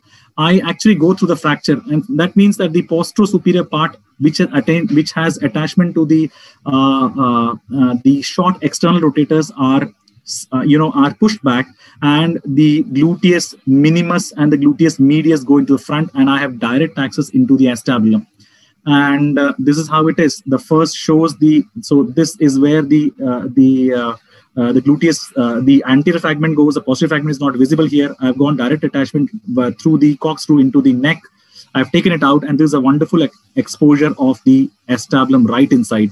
And this gives me a wonderful exposure. If I do THR, I can do through this. Implant choice, cemented stem with or without calcar. We'll talk about the calcar a little later. You can also use uncemented stems. Uh, what you require, sometimes they can be extensively porous, monoblock tapered, and modular tapered. I think for this talk, I will not want to go into the nitty gritties of this but what you need to understand is that if you are using a cemented stem, then actually you can use a normal stem. A lot of people have this uh, misconception that if you're using a, a, a cemented stem for a failed uh, fixation or even for a primary, uh, you know, primary intertrochanteric or a proximal femur fracture, we need to have a long stem. That is a very big disservice that you do to the patient. If you're using a cemented stem, you get almost 120 or 130 mm of cement mantle. I think even if you remove the proximal three centimeters because of comminution, you get almost 100 mm of you know cement mantle. And I think this is good enough, and you don't need a, uncement, uh, a long cemented stem. Vis-a-vis, if you're trying to use an uncemented stem, then you definitely need to have a distal fitting stem. The stem can the choice can vary according to your comfort the patient's uh, you know uh, uh, physiology as well as a financial status. So that is the last of the bit. The finances don't determine treatment but that is also one aspect you need to take care. But if if if you go for an uncemented stem please go for a long distal fitting stem and not the primary stem the advantage of a cemented prosthesis are immediate stability it counters osteoporosis there is no need for a long stem, as I all, all said, and cement has been tried and tested. The only problem is in a little younger patients, cement has got a finite life. So don't try to use cement in patients who are less than 65, maybe less than 70 also. Try not try to be using a cement, uncemented stem. Disadvantages, immediate pulmonary effects, especially in the elderly patients. It adds time to the procedure uh, compromise to trochanteric union if the if the cement goes into the fracture uh, of in between the fracture fragments of the trochanter itself. Implant choice uncemented, The advantage is a safer, shorter surgery with lesser blood loss. Disadvantages are in a distal fitting stem, you always have increased thigh pain because these are osteoporotic bones and you have integration right up till here. And God forbid if this does not in, this does not integrate, then you always get into subsidence. So if you have any doubts on all these things, go back to a cemented stem. A deficient calcar the problem with this deficient calcar is that when you have got a distal uh, fragment like this, you are at a loss of how to ascertain the version of your implant. And also the implant, the stability may be a little compromised. Uh, the simple answer to this is that the version has to be determined by using the transcondylar axis. I unfortunately don't have the photographs of this at present. Uh, I wish I could show you, show you sometime at some other place, at some other point of time. A solution to a deficient calcar is build a calcar. In my practice, I, I'm very categorical in say 80s and 90s. I'm not very, you know, I'm not worried about the longevity of these implants. I'm worried about the immediate post-operative day. I'm not worried about what is going to happen five years down the line. I'm more, I'm more worried about what is going to happen five days down the line. If I do a replacement on a patient, I want him or her to walk out of the hospital on the third postoperative day, if not, then fourth. So majority of my practice, I use a cemented stem and I will be using, this is the same x-ray that you saw, uh, uh, same clinical photograph that you saw here. I build it up using uh, using a cement. Cement has been filled, and after I wire my GT back, this is how it looks like. I cannot even see the implant. And bone grafting can also be done uh, theoretical you can do it. Uh, i'm an average surgeon. I would like to tell what an average surgeon can do. Uh, people who are good can actually think of a calcar uh, grafting again. But then again the problem is what if if the graft lyses? So that what if uh, you know deters me many a times to not use this graft. Calcar process another way. Uh, uncement implants with we can replace the calcar and now coming to the abductor mechanism reimplant this this should be meticulously taken care of. And this is how the uh, the implant looks like once you're doing this. Uh, majority of times if you have to you know uh, fix up a, a, a gt cerclage wire work, or cable works 99% of the times in my practice. This is the main workhorse needs a big trochanteric chunk which you will usually usually get. You will definitely get this in a, uh, in a primary and you will definitely and usually you will get this in a non-union situation or an implant failure situation at all also.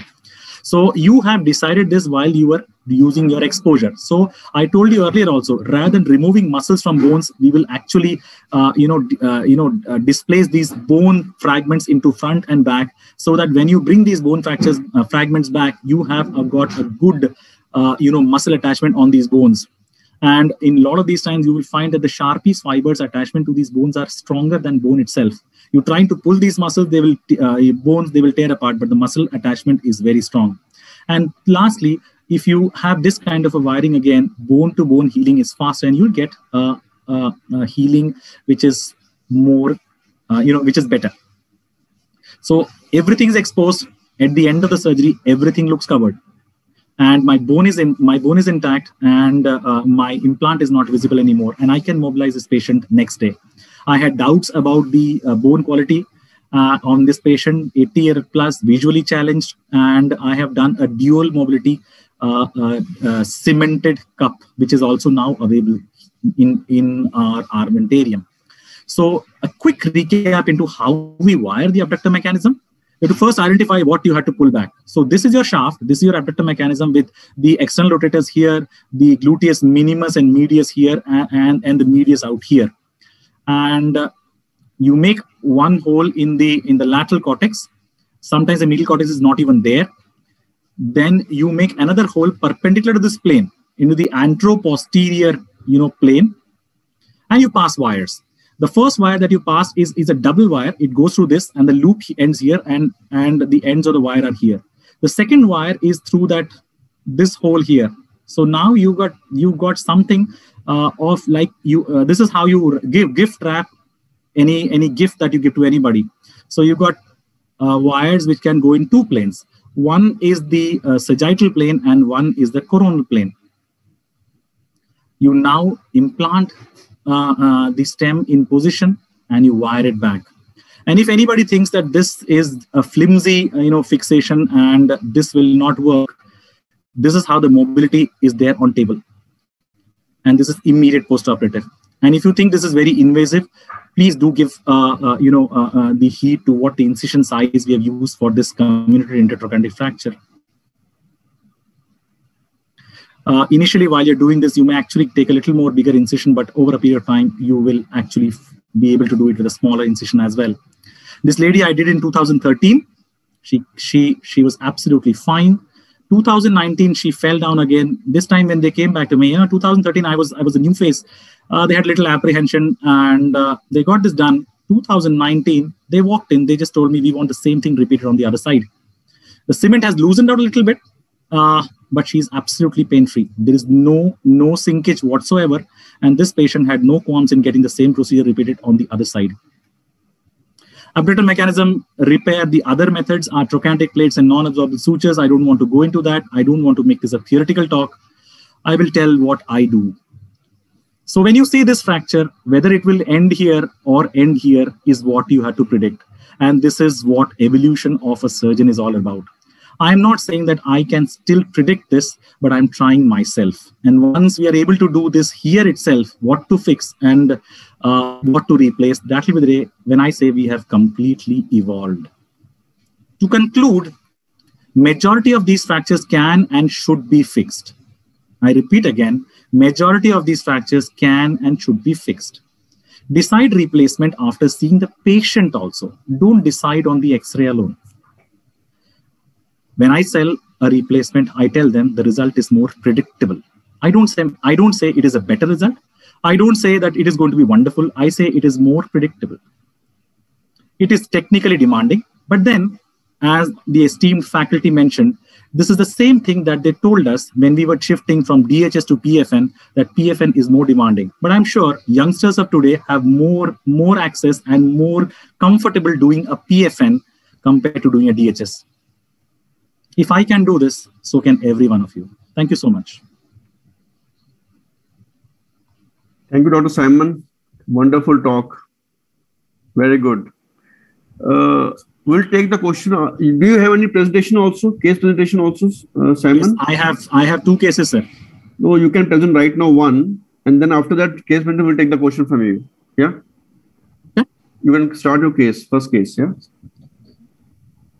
want to start by a joint replacement case first. Okay, I'll do that. I have no problems. Yeah, yeah. Only the first case you want to present as a primarily. Then we'll give you the other case if the time permits. Okay. Okay. Yeah. Okay. Yeah.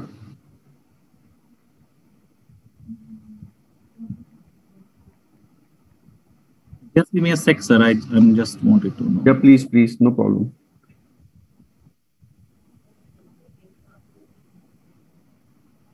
Dr. Manisa will give you answer after this uh, presentation is over by Dr. Simon. I hope he's. This is not a.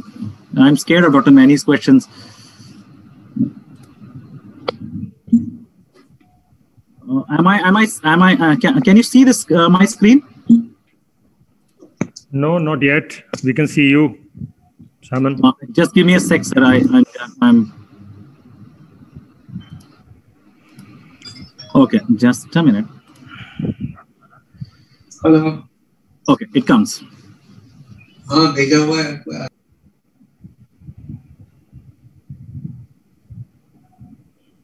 Okay, I, I unfortunately don't have the x-rays of uh, this patient when we started off. So this is 2015. I was just about to go to my fellowship. I met this lady who had a shaft of femur with an ipsilateral shaft of neck of femur on the right side. Somebody had done a wonderful PFN. Mark my words, it was a wonderful PFN, AP lateral looking very wonderful. But unfortunately, both went into non-union. And this is where I met her.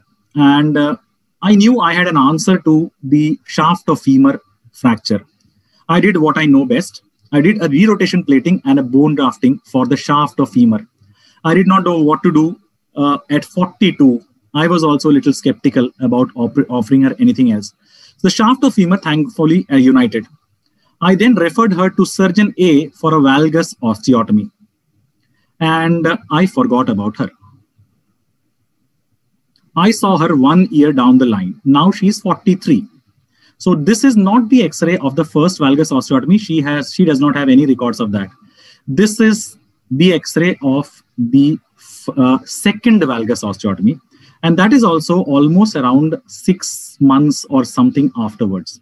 So the first valgus osteotomy failed.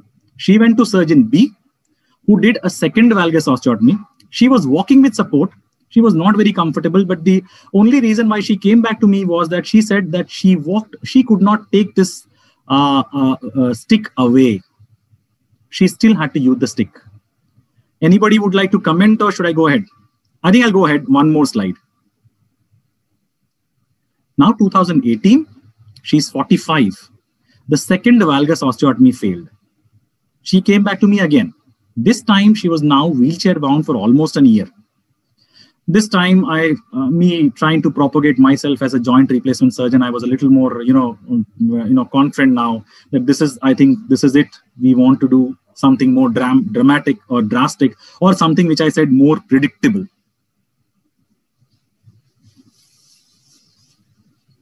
Unfortunately, I could not convince her. She went to surgeon C, who attempted a third valgus osteotomy. So this is 10 months after the third valgus osteotomy. The surgeon who tried to do the third valgus osteotomy could not find any bone struck and he removed the implant and there is no infection. There are no googlies here. There is a straightforward, uh, you know, uh, uh, orthopedic case. We are not looking at any infection. Uh, no parameters, nothing at all. Uh, I uh, forget the lab analysis. I have now a two-year follow-up of her, so there is no infection so far. There was no infection then also. At this time, there was no suspense on the treatment. The patient knew and I knew what we want to know. Anybody has a comment now to make? Yeah, I go forward. I think I'll go forward. The third surgeon did me a favor. He did for me what, what was a really challenging task removing that one broken screw. The problem with uh, uh, removing this screw is that you make such a big hole here that there's always a big chance of a stress riser in this canal.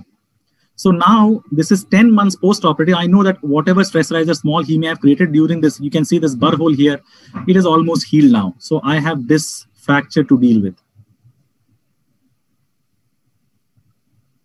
So again, now, as I said in my talk, I have identified my patient. I have convinced her or him that this is what I'm going to do. They are ready for a replacement. Now my next step comes pre-operative planning.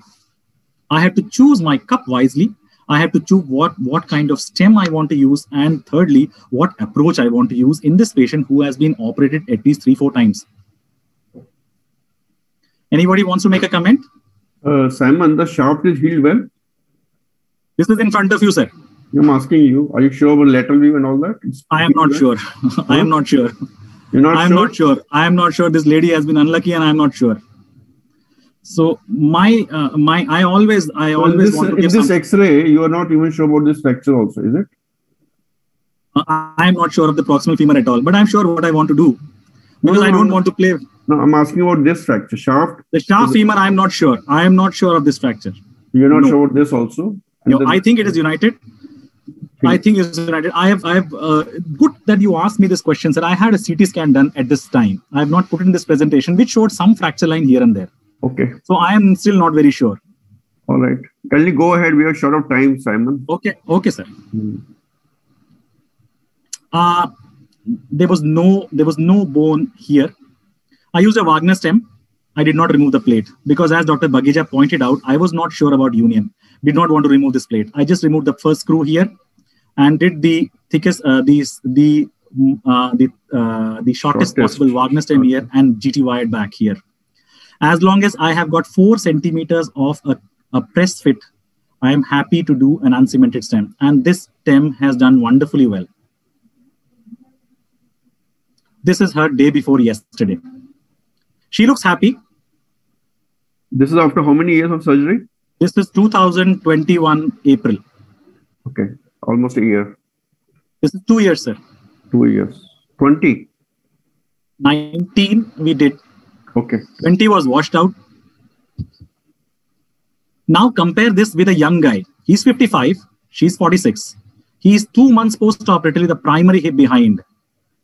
One question to all my all my fellow uh, this thing fellow uh, you know faculty: Are we still biased in modern 21st century in advising replacements to young patient? This patient is squatting, sitting cross-legged, versus this patient who will always have a limp, who can never sit cross-legged, and with a constrained implant there, I am actually worried about a longevity. This looks wonderfully well now, but I'm scared what will happen when she comes back to me, a 46 year old lady coming back to me 10 years down the line with loosening, if at all she comes. So, this is what you should all think about today when you go back from this presentation. Simon, kindly keep the post op, please. This the previous one, the lady okay, one. I'll do that, sir. I'll yeah. do that. Keep the post one, uh, post op. And any question from the faculty uh, this Dr. time? Dr. Simon, can I make a comment here? Yeah, yeah. Please, Samir. Okay, see uh, your last question to all the faculty whether you would be still hesitant in advising a primary uh, kind of replacement in a in a fracture case. Well, uh, the you've you've made it very clear. You know your slides are you know uh, nothing uh, in, uh, not, no confusion left here that this was a multiple failed surgery case. So it was very easy, relatively easy, you know to decide when it's got multiple failures and uh, you know not much has been left here actually with poor bone stock you know but any young patient with a fracture uh, you will never advise when you know the result of fixation is wonderful you know? And uh, this is this is one part. And second part is that you know you don't want to land up you know in some kind of complication after doing a big replacement when the majority or uh, you know when the right decision would have been or i would say right in the sense that most surgeons would take a decision of fixation. What if the complication happens? Infection periprosthetic fractures etc so you land up in a big soup when most of the surgeons around you would say you know not needed it has to be Dr. fixed. Dr. Samir, I, I just just want to make one point. I am yeah, not please. talking about I, I referred this patient for a primary osteotomy myself and to a center which actually does this primary, which they did nicely, somehow did not unite. I, my two points were that all osteotomies don't unite. Second thing is that if you have got a failed osteotomy, can we be a little more proactive in in telling these patients now your osteotomy has failed, you yeah. go in for a replacement now rather than attempting a second and a third osteotomy. Just because she's young. Yeah. Okay. That was I, my question. Yeah, I do agree, I agree Simon. I agree, yeah, Dr. Simon. I think uh, they should be. You made it very clear and very. Uh, you know that uh, your first in conclusion was that fixation is is one, and then there are specific indications for replacement, and that too in a very expert hand. So I think you made it very clear, and all of the faculty and previous speakers have made it very clear that everything has a role. Uh, you know, whether you're expert in uh, plasty, then you can choose your case if you are expert in DHS, yes, go ahead, you know, and give the results. Base, uh, the principles being strong, you know, in terms of uh, reduction, etc. And same with PFN. So you made it very clear and very, very nice presentation, and especially the Simon. Case. Uh, thank you, Samir. Simon, this is a wonderful uh, case presentation. So your concern was why the second and third was done by ostomy was tried. This is this is practice, right? In orthopedics, uh, every surgeon try to do what he's good in that, right? in spite of knowing the previous is failed, again they were attempted second or third, but ultimately patient came back to you and did a good job of doing THR because the proximal have remained nothing, you know, as Sami explained, nothing remained. So you did a good job. And there are few questions for you from the chat box. So I will complete because we got two more cases to be presented. Okay. The one question is uh, from Dr. Manning. Oh, I'm scared of this. Yeah, he says any tips on restoring leg, leg length and medial offset, Dr. Simon?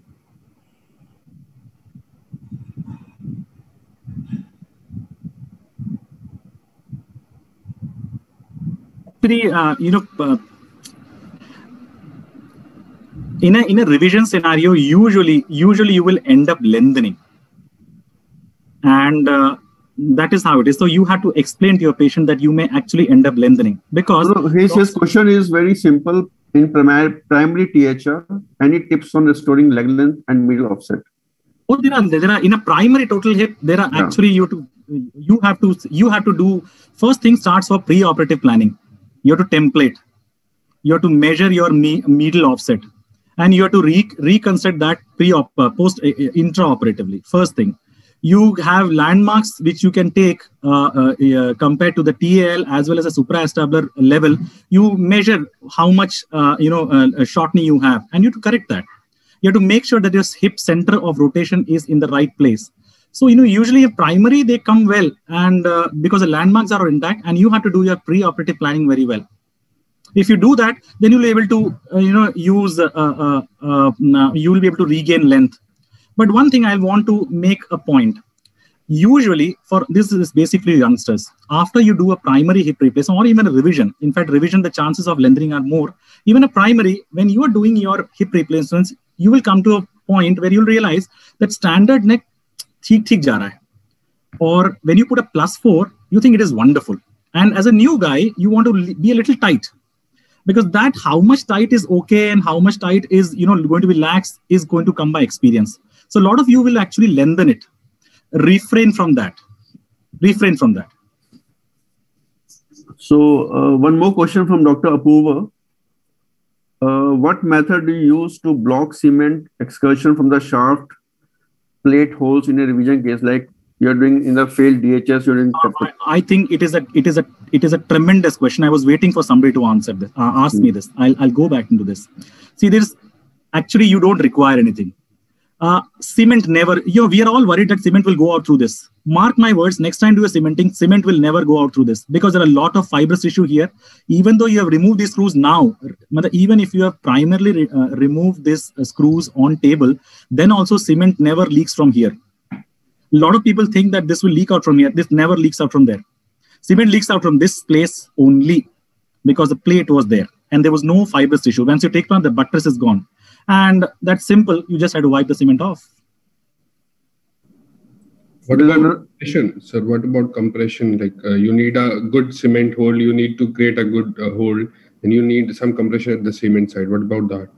That I told you, now. See, uh, see, I'll, that's that's again a good question. I tell all my juniors when I'm doing a bipolar in a 75 year old person or a 90 year old person or an 80 year old person, I never worry about grade cementing. I tell them have a little lousy cementing, have grade C cementing, but make sure the patient leaves the table alive. I don't want a great X-ray. I want a patient who's walking next day. I have seen people who send me great X-rays and who tell me patient expired. So this patient, these patients whom I'm opting for a cemented one, they're actually physiologically not very great They're actually salvage procedures that are elderly patients whom I'm not looking forward to a great cementing at all. Majority, tell to be very honest, to in some of these 90 year olds, I don't even try to put a distal cement plug because I just want some loose cementing to have and hold. This patient walks and does well for six months, one year, they're doing very well. I'm talking about primary bipolars, 80, 90 year olds. Okay. In a relatively younger patient, definitely I will do all sort of things possible to get a good cementing. But then vis-a-vis, when you've got a younger patient, you are aiming to have an uncemented fixation. That is a practical question, you know, answer I'm giving you. Simon, uh, yes, two sir. last question I'm asking you. So the the poster Excel you just shown for this osteotomy, have you used a constraint liner in this case? Yes, sir. I used a constraint liner because I was scared.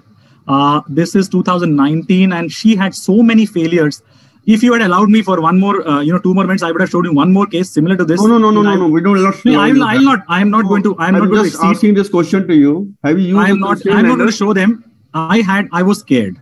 So, there was there was no bone left here except for this, and I was scared of a dislocation. So and, the question question is given to you: Why you not use this dual mobility cup here instead of the liner? Yeah, I wanted to be a little more predictable. That was one option. I was scared this patient had multiple failed surgeries and she had come back to me and i was a little scared uh, that i would lose. On a hindsight i think now that two years of you know every year we are also gaining some more experience. And we have now much much more uh, you know uh, experience with dual mobilities that uh, that we would have actually thought of doing the, using a dual mobility now. But that time was different. Okay thanks. And one more last question for you uh, from dr tandon Hyvin tandon. I think dr Sumod, the answers the question answered for you yeah this question was always the last question, the why he's not used the dual mobility, why constraint liner. So the last question from Dr. Tandon, he's asking why there's no attempt to build bone between the GT and the shaft in this total hip. so this is actually, uh, uh, uh, you know, we have been doing this for some time now. So I've seen some experience with Dr. Shekhar doing the same for many years. And this is basically a, this Wagner is a distal fitting stem. There is some bone out here which is actually not visible. So medial side, it is it may not be here on the calcar, but there may be some bone here. There is some contact out there. So this is a two-dimensional, uh, you know, uh, uh, X-ray. This is not a three-dimensional view. Even if this bone was not there, I usually not worry. I've seen his follow-ups now for many years. Uh, this integration distally, this is like a coxofemoral bypass this GT is just giving me just some uh, uh, anchorage of the abductor muscles. So my weight bearing actually goes from here to here. And so this stem has held on. Only concern is if you can use even allografts we have now. No. Uh, see, with the uh, with last ten years, I think with the advent of you know uh, trabecular metals, our uh, the, the the our usage of allografts have gone re, very low. Major reason is that we are worried about infection. Anyway, thanks, Simon. We'll come back to you again after few minutes if the time permits. And I'll ask Dr. Uh, Samarth Mittal to uh, be ready for his case. Thank you, Simon. Thank you so much.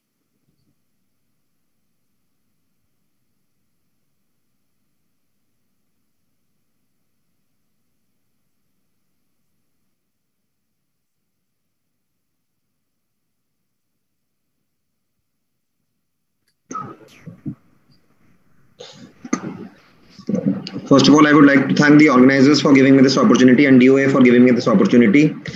After the lovely talk since the morning, so I'm just going to present a case of a hip fracture in a poliotic limb here. So uh, I am Dr. Samarth. I work as an assistant professor in Trauma Center AIIMS. Getting right down to the case. So this is a case of a 37-year-old male. He presented to us on 18th of June 2017 with history of RTA. He was uh, on a scooty when he was uh, hit by a car and he complained of pain and swelling in the left hip with inability to bear weight on the left lower limb. And those are his uh, initial x-rays done in the emergency department. And those are the subsequent uh, x-rays on that very day. And on uh, asking for more detailed history, he gave history of left lower limb post-polio residual paralysis on detailed history when the resident saw the thin uh, musculature of the left lower limb. So that is the uh, that is a better AP view than I uh, than I had before. So the options for this case would be either if anyone would want to opt in for any PFN, AFN, DHS, DCS, or a proximal femur locking plate.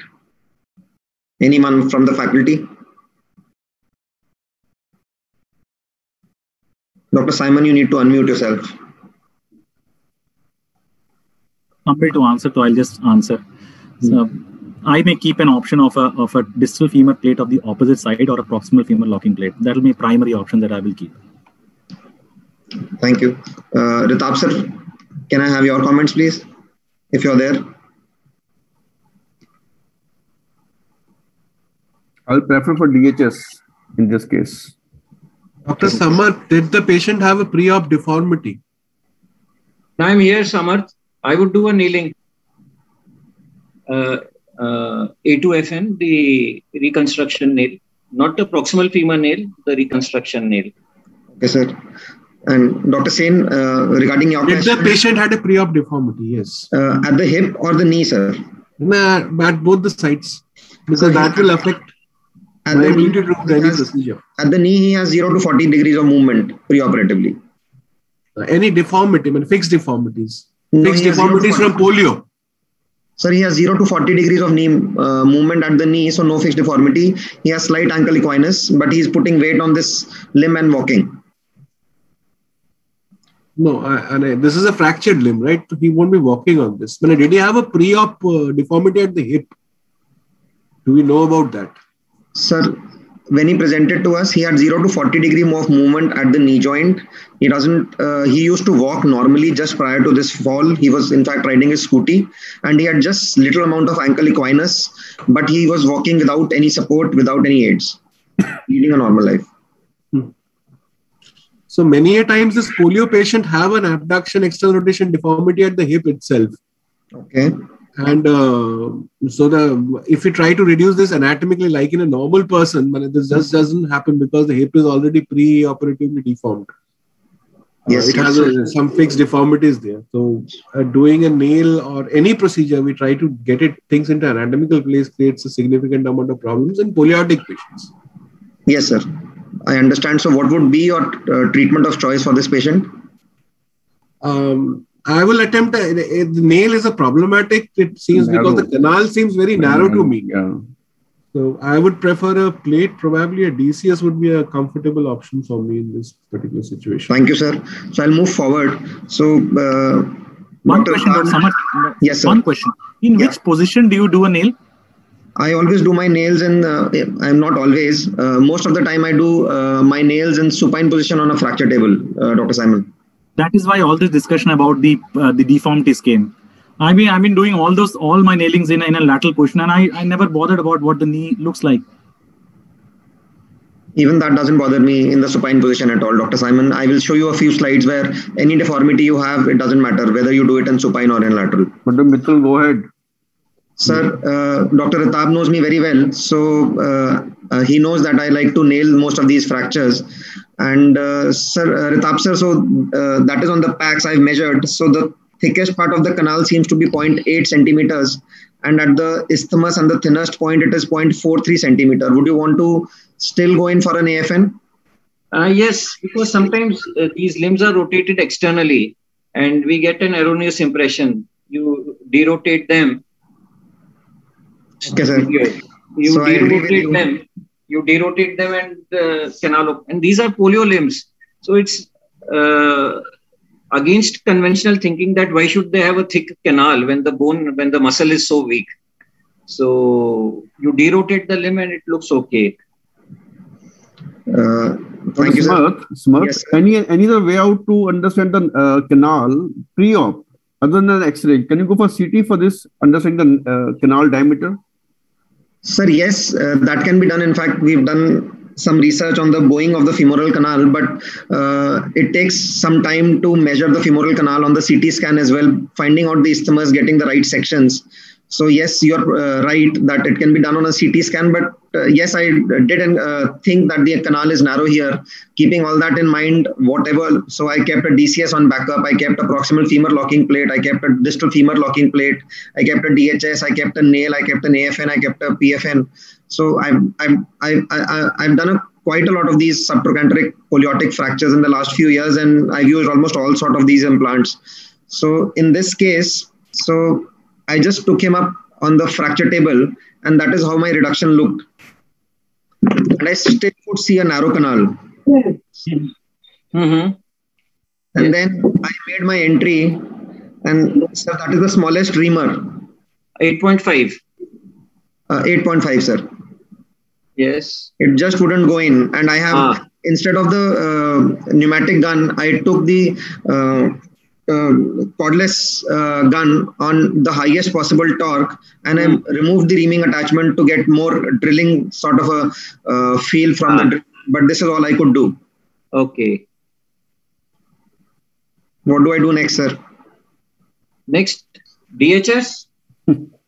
Sir, so uh, I've so uh, the reason why I would have wanted to do a uh, nail in this patient is because uh, poliotic limbs have very low vascularity, and there is always a chance of having a whatever plate I put, there is always Yes. a chance of a stress fracture just uh, below that. Absolutely. The vascularity is- poor, and there is good literature which shows that the uh, healing in poliotic fracture is much more delayed. And from Yes. your first talk, we know very well that uh, the f- time to failure in a PFN is much more than the time to failure in a plate. Right. So what I did in this case is I took out hand reamers, Mm-hmm. kept drilling with the uh, gun, and then took some hand reamers which are very sharp in the front, Right. uh, narrow in the front but wider at the sides. So Mhm. the sharp front started opening some canal for me, and the wide broadened side just helped me to uh, uh, make that more wider.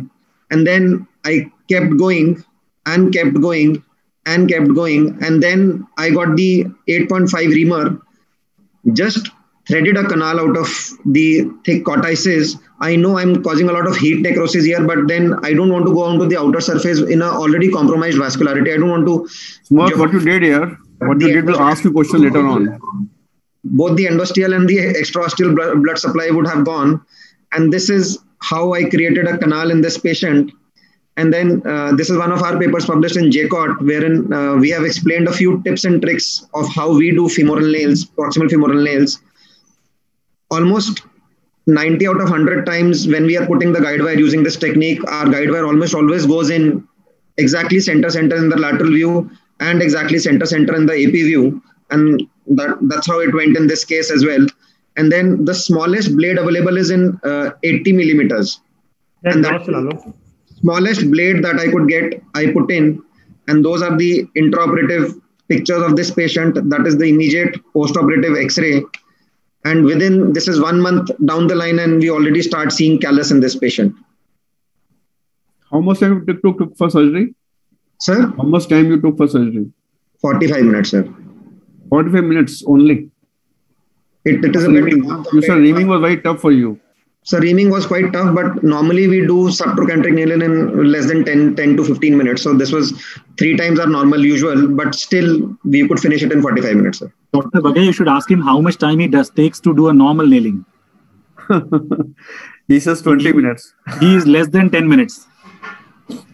Sir, time is not important, but, but the reduction, like Dr. Uh, Ritabh said, reduction is most important. So I think uh, a good reduction, and that is why this patient went on to ha- have uh, good union. If we have time, I can just add on to a subtrochanteric case. I can just run through it. Wait, wait for Smith. Wait, we One want more ask, thing, ask uh, question Samarth, from other faculty Can I. Wait, can I just a- ask you? Yes, Uh, sir. so the faculty, I think uh, this is beautifully done. But Samarth, I think this is since uh, somebody like Dr. Ritabh and you have done so many cases. But if it comes, some case comes like me, I'll be I'll be at my wits end. So, uh, uh, what other option uh, do we have? Can we do a DCS DCS comfortably in such a case? Yeah, Ritabh told us if the you are not able to make it, Or a DHS plan for that matter? Yeah, yes, yes, we can do for DHS. DCS probably yes, sir. Samarth, Samarth Yeah. has got a lot of patience, so he has tried his best to do it. Otherwise, Samir is right. Sometimes we get stuck up, you know. Single surgeon is stuck up, you know. So we can plan for the second best. Then, So- so then Pradeep, you can't have uh, these many implants. You know, I mean, it's it's a lot of restrictions. See, I mean, PFN and trauma D- center uh, is something else. PFN and DHS should be always there in the in the theater. yeah, so I think Samarth- uh, yeah. so. Okay, So DCS DCS can be done. option. A angled blade plate is also an option here. A proximal femur locking plate is an option. A distal femur locking plate on the, of the reverse side is an option. Uh, in very small femurs, I've used proximal uh, tibia locking plates and I've used a PHILOS as well. So all sorts of implants uh, we have used, and I've also used a 3.5 plate with a TENS for these patients. So it just depends on the how uh, small the femur is in these patients. yeah. Any other question for faculty for this case, please? Particular for this case.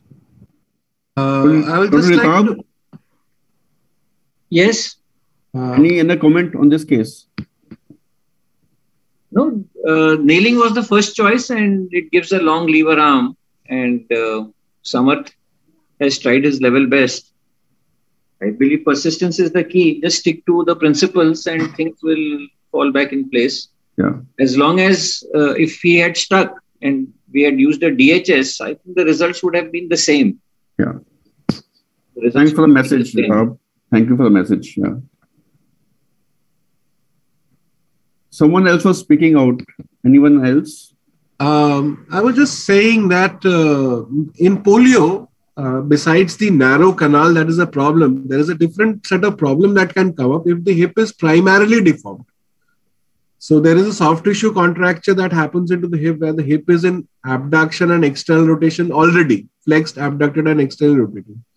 In those situations, putting the patient on a fracture table itself is a problem. So knowing preoperatively whether the patient had a deformity or not, it can uh, impact your decision making. And it might not be possible to mount these patients on a fracture table if the hip was originally deformed. To start with. That is what That photo answers your question, sir. Yeah. So uh, one point is just commented by Dr. Manning, and uh, I'm also having practice of 18, 20 years. I feel if you're not sure about the canal, you can take out the CT scan also to have the information to avoid stress in intraop because normally dictum is for orthopedic surgery which should finish in one hour to one hour 30 minutes not more than that so this is a i've learned from my bosses so if uh, you expect something you're not sure about the canal, you can have the CT scan in pre-op. The same thing is mentioned by Dr. Lalit Maini. CT scan should be a fair inve- investigation understanding the anatomy in the polio patients. And uh, Samarth, I'll give you a chance. Just give me ask the Puneet if his, his case is ready, so we can present his ca- case first, and after that we'll come back to you. Sure, sir. Thank sir, you, Smart. To answer Dr. Biswarup's uh, Sen sir's question, so this Yeah. is how I, and Dr. Simon's question as well. So with the hip deformity flexion, this is another case. This is not the same patient. It, he had something else, but he's also case of polio, which I wanted to take up on the fracture table, and that is how the positioning is. If they have a lot of deformity in the ankle, knee, and hip, they can still be positioned on the fracture table, and that gives you very good views. If um, uh, you want to go ahead, uh, if you don't like to do it in the lateral position. Right. Thank you. Dr. Puneet, your case is ready. uh, I'm there. I'm just trying to share it through my mobile. I'm just trying to open my screen. Yeah. Yeah, please. Is it? Yeah. Can you see my screen just now? Can I you think see Dr. Shob, screen? Mr. Shobit will help. Yeah, yeah. Please, Dr. Puneet, carry on. Yeah, I'm just trying to present it. Yeah. Present on this device. Yeah, uh, it's not a good presentation, but through my mobile. Uh, this is a case of a 76 year old male presented to with us this comminuted fracture proximal femur right side. So we were confused with the first X-ray what to do. It's Puneet, can you show what is it? slide show, please? Yeah, yeah. Please, My thank you. slides, uh, slides are there. Now it's Can coming up. now? Now, yeah, yes. Yeah, I just take the slide back. Uh, just a minute. Okay. Uh, what is happening? Why the slide is now? No, just the back one. The back one. I think something has happened. Yeah, just a minute. Yes, fine. This is the first X-ray. Can you see now? Yes. Yeah, this is the first X-ray, and it was quite a confusing one. Key, what kind of fracture is this? It's a proximal femur, proximal. So, is a neck femur, subtrochanteric, trochanteric? What is it? Is there any stability or not? We got the CT scan done, and it's quite evident that it's a bad comminuted fracture with a combination of GT, and there is a head, a little bit of neck left to us, and this is the other CT image. Now, the options left with us to discuss what is there, what should we do. I just keep a question here. We have three great panelists with us. First, Dr. Sen, who is fond of plating. Uh, Is that an option for this case? Please show the CT film. Yeah, this is the is are the image are the images in the screen, sir? Can Yes, you see? I just repeat. I just took it back. I take it back. Dr. You can Puneet, can you you can come see. to the Zoom platform? I'm on this. Uh, uh, okay, bye. I'm coming back to the Zoom platform. Yeah. Yeah. Yes. Yes, Shobit. Yeah, it's good. I'm on the Zoom. Hello. Yes. We can hear, please, please. We can carry on, please. Yeah. Yeah. So this is these are the CT images. Dr. Sen, uh, can we think Uh, of it's rating in yet inadequate information. Actually, the best information is on a traction view when you actually position the patient. I understand, but most of the time when the emergency patient You can see a lot of the- fragments. It's an intertrochanteric fracture, but Yeah. not much can be read from the CT. The best uh, way to read uh, and decide would be to have the patient on the fracture table and then decide. Unless Yes, until, yes, of course, right you are committed to doing on a the operation. in the first Yeah. place. So do you Yes, have a coronal uh, section on the CT, sir? Um, a coronal section on the CT just to look at the proximal Uh, fragment size? the the problem is this ki these are i'm just taking from my mobile i'm in the hospital at present so i couldn't Okay. get my system yeah so now the story left is just can you shift the image please shobit shift the image yeah this is the other ct image with us and the combination is there a little bit of neck present and it was a question should i go for a arthroplasty should i go for a nailing should i go for a plating so the first thing is yes, plating seems difficult. Dr. Ritabh sir, can we have a nail into this? Absolutely. Yeah, I'm with you. but how would we manage it? Can you give the idea? I might be wrong what I did. I'll tell you, but uh, No, just I want your to this. So yes, there is combination, but uh, the two main fragments, as far as I'm concerned, are the head fragment and the shaft fragment. Yes. So the head fragment is reasonably big for me, and uh, I can either go for a helical blade or a two screw, two integrated screw mechanism. And I Okay. think traction would put things in perspective, better perspective. Can I make a comment here, Puneet? Can I make a comment Yeah, yeah. here? It's a badly committed fracture to trochanteric. I think some neck part is also broken here. The patient Yes, age is right. 76, right? Osteoporotic. Yeah. I think I'll, in my hand, I'll go for a, a cemented bipolar in this case. So, Dr. Pati, I take your point, uh, but when I explained to the patient relatives and told everything positives and negatives, so they said, no, we want to save the head. If it is not there, we'll talk of uh, arthroplasty later on. Sure, I took the courage and the point of Dr. Ritabh, and please shift the image. Shobit, yeah, and this was my post-operative X-ray.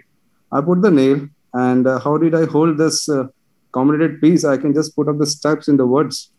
Uh, when we opened it up, uh, we passed some ethibond stitches through the uh, comminuted pieces and the muscle mass, made some holes before putting the nail in the distal fragment. And then we passed the guide wire, hold the nail, hold, fix the proxima and the distal fragment, and then tied up all everything with the ethibond. And uh, can we have a next image? I think I have a next image. No, no, not this one. And that uh, we could manage up, and the patient started walking after two months. It took a long time for the patient to stand and walk, but yes, we could make it up. So that was my take. I, I the people might be having something different. They can come out with more ideas. Show Shobit, shift back, please. Yeah. Ritabh, I want to put a one comment. After putting a nailing, patient can be amputated next day. Is it right or wrong?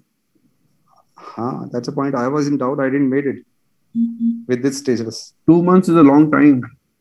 Yeah, because we need some hold. Otherwise, uh, there was nothing. If uh, I took long, I know I took long, but that I was not getting the courage to make him stand on the ten days. See, I think I think Dr. Bageja, I think it's not just about yes, you can uh, make him pay patient bear wave with support, but I think this would also need some kind of you know soft tissue healing in such an old patient.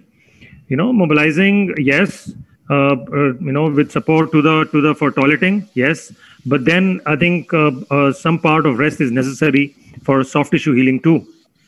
It is two months, Samir. Yeah, of course, may not, maybe not two months, but then Puneet is right, you know, that he was scared, and uh, is I think it's it's pretty okay Was for this- him, you know, to make it a little was delayed. this, was this patient going to the washroom in between in the in the in the two months? Once patient was Was this patient mobile, ambulating? Not going to the washroom. The patient was mobiled on a. Can I make a point? Non-weight bearing with a walker. Yeah, If please, you- please. Yeah. If yeah. if you are if you are mobilizing this patient, this patient must have been weight bearing. There is no way this 76 year old would not have been partial weight bearing. So it is it is a surgeon's comfort that we think that we have made the patient non-weight bearing. Trust me, I at think- 76 you cannot make a patient partial, and this patient was bearing weight on it. See, if uh, we say yes, then the patient, will, if you show one finger, the patient will always take your hand, will take all the benefits and all the uh, things. So we always say no. We it's our system. We never say yes on the first day. We always try to stop the patient. I think Same I here, same here. So, Dr. Simon, uh, Dr. Same Simon, would you would you uh, do something else now that I mean you are an expert in arthroplasty? Would you take do plasty in this? Sir, uh, sir uh, in my hand, this would definitely have been a cemented bipolar.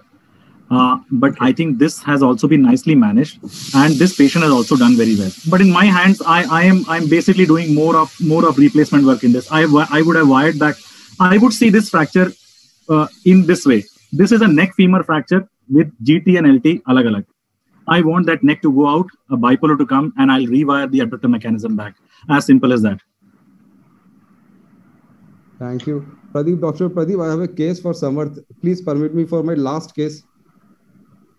The third case, third presentation. Me, who's saying? Uh, Dr. Puneet here. No, no, you, I have- your is have- done. I have- Is done, Puneet. I'm done. I'm done with this. I have a third, uh, three cases. I want the third one now. No, no, we'll we'll wait. Please wait. We'll go back to Simon again now Okay, fine. I'm good. and come back to again. Simon, please uh, quickly show your second case.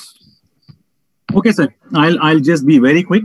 She is 58 years old now. So now this is not an old lady. She has shaft of femur right side. Share your screens, uh, Simon, please. Oh, oh, oh, sorry, sorry, sorry, sorry, sorry, sorry, sir. Just give give me a sec. I just get to a little uh, share my screen. And So I agree with Dr. Simon. Uh, whenever I operate upon a hip fracture, I need to mobilize these patients as early as possible. And uh, about the other point also that Dr. Simon put in that uh, whenever you mobilize these patients, the only mobilization they have is full weight bearing.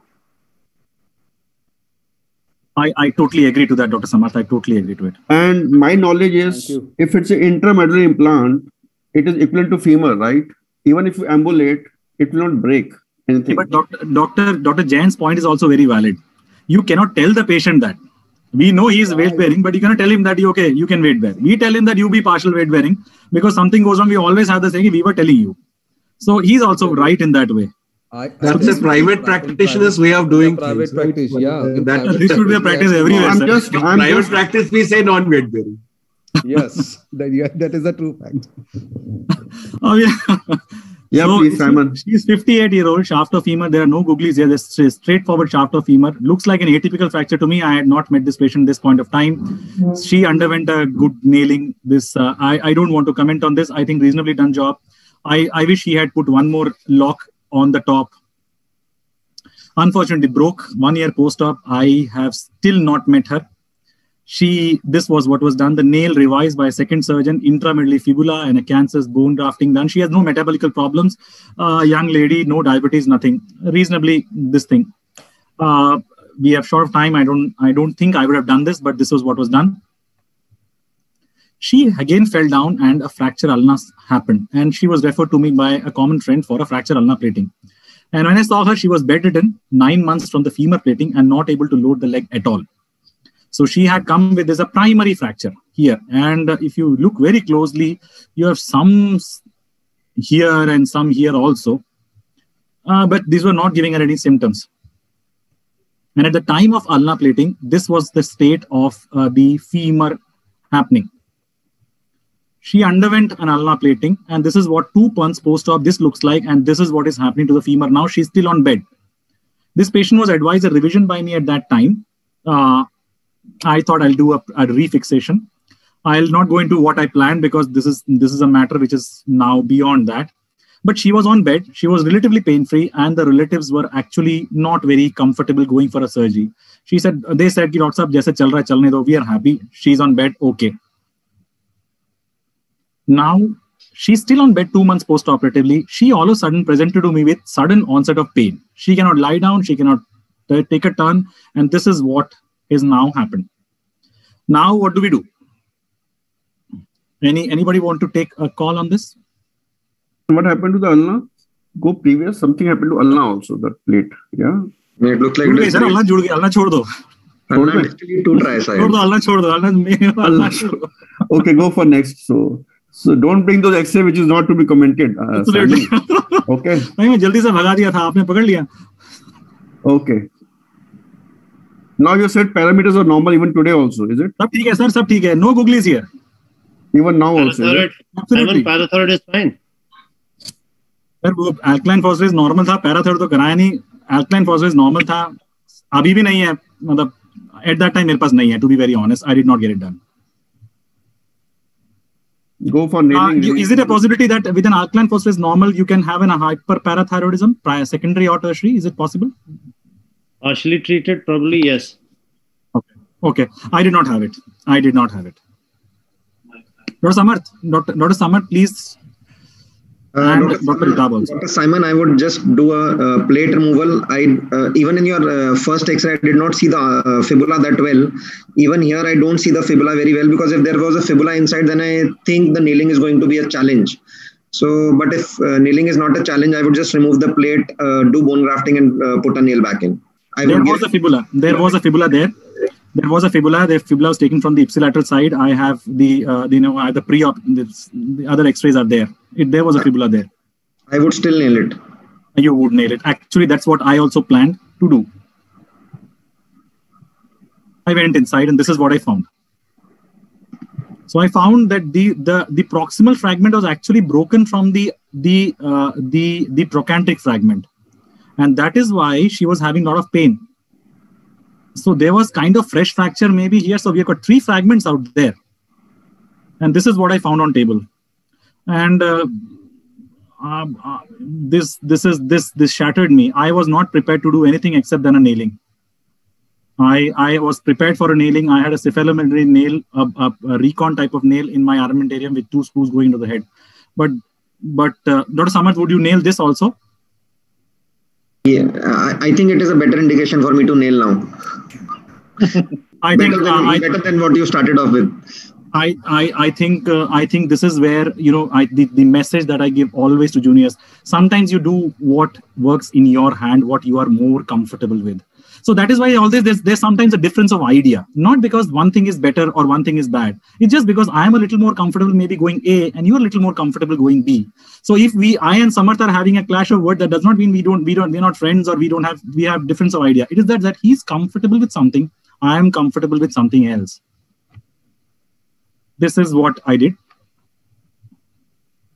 This is a dual mobility. I had I was wiser now. Dual mobility is result we had seen, and again, Dr. Uh, Tandon had asked me this question. Uh, I have, uh, Dr. Tandon. I hope you're you, you're seeing this, and there is some discontinuity here also. But again, I have tried to get this is the biggest possible stem that I could have. This is a 19 into 302 this is how it is there, there is there, this is how i think this is she started walking next day and she had an uneventful six months following certain other things happened but uh, i think dr pradeep would not allow me to say all that agreed but this is good you did because she was bedridden for nine months ten months I don't know. She was bedridden for a year and more because I had uh, plated the ulna one year back, and before that also she was bedridden. Now she's walking. Good, good case. See, there are too many options, but the aim is to mobilize the patient. And with the scenario you should in drop, this is the best option you have. Any other comment from the faculty for this case? One last comment. I think, Simon, this could be again uh, an extended version of a coxofemoral bypass. You're having a you know a head in place, and then you have fixation very distally because there is hardly any bone stock in between. So uh, I'm, I'm, this is this is fantastic. She's walking. I mean, no questions there. But I would like still like to ask uh, most of the faculty here, what would you do? Samarth did very said yes, he would do a nail. Dr. Bageja, what would you do in this case? I'll go for THR as this Simon is done because see the previous history, nailing was done, failed, plating was done, failed. Now patients for 10 months on the bed. The life risk is also increased. The patients for on the bed for so much time, we have to ambulate the patient. So this is the best option because even if you do the nailing, the things are same. Wagner stem is a nail part only, if you see. By putting the THR, you are giving the life to the patient, you're mobilizing the patient. Dr. Samir, when we are discussing this with the patient, first thing, Joe, any patient would ask, Doctor, what is the success rate of this procedure going to be? Uh, we have, yeah, we have worked two times and we have tried to rely on biology. So as uh, as people who are trying to forego with uh, you know go ahead with joint replacement we are trying to bypass biology to some extent. We cannot overtake biology all the time but to some extent i want to take care of you know bypass that biology which is not working to our comfort. I will assume that the surgeon who has done the primary and the secondary job have done a good job. In spite of that this bone has not united.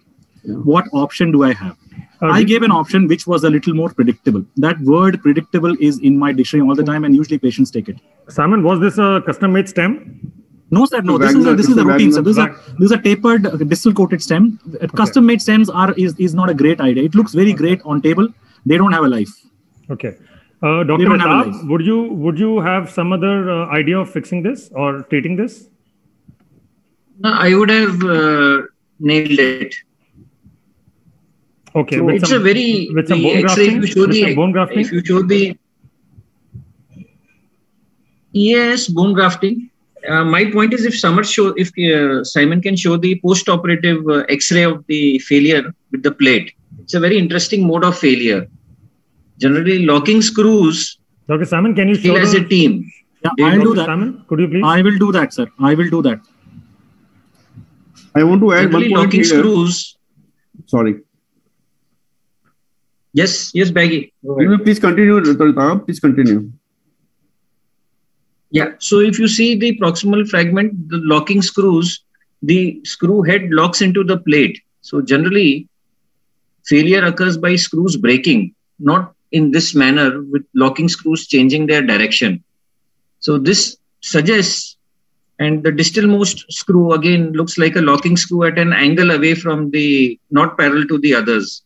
So this suggests a technical error that the screw heads were not locked properly into the plate. I want to add one point here. Uh, Dr. Dr. Ritabh, Dr. Pradeep, just Yes. a minute. This is interesting. Dr. Ritabh, then what would you have done? Would you have put a locking plate uh, uh, with, with, of course, a better angulation of the screws?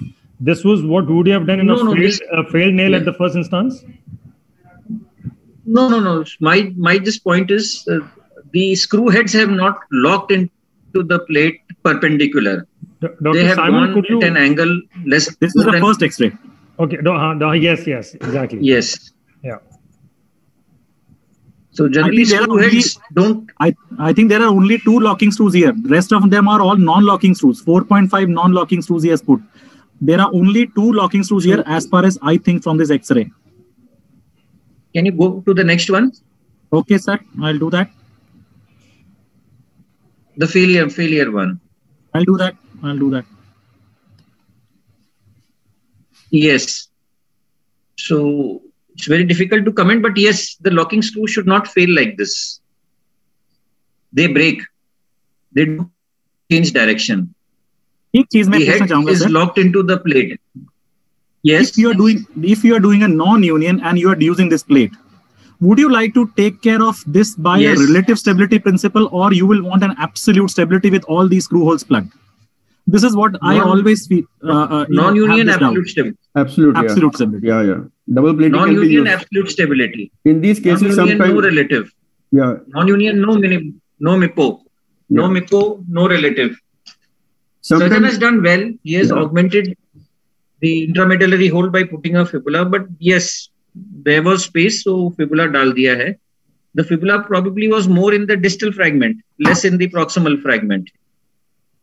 वो डालना भी Locking मुश्किल है plate technically construct डालना reasonably- अब डाल दिया ना that so give credit to the surgeon नहीं he's done a good and job this implant held on for some time so it's a unique very unique failure of locking screws it suggests that the screw heads did not lock into the plate this was a locking screw working as a conventional screw I want to add so one they all point here. changed the direction Sometimes you have to uh, look for metabolic bone disease for this patient. Plus, as somebody is asking, what else you can do? You can use double plating also. If you don't go for replacement, people may use double plating with bone grafting, anterior, posterior plate, and lateral plate. They can use also.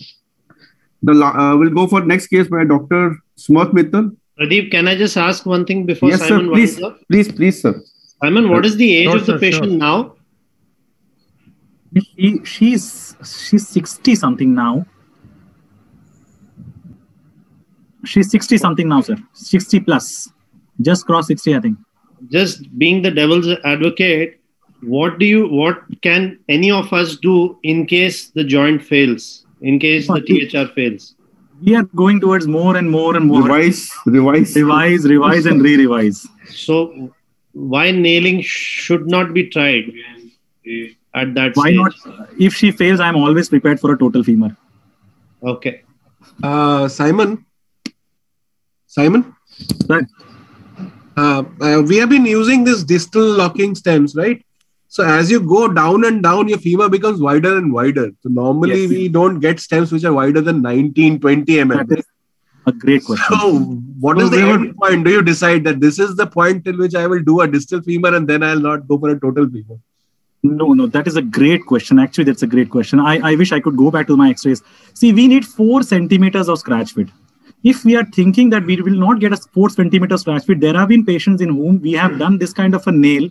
And there are certain other stems which also now come, like the restoration stem from Stryker, which has got basically uh, a modular stem, which has got interlocking screws at distally. One it gives you initial rotation stability so that you uh, you know you can actually uh, you know get a get an initial scratch fit and it gives you rotation stability and it integrates. And these are modular stems.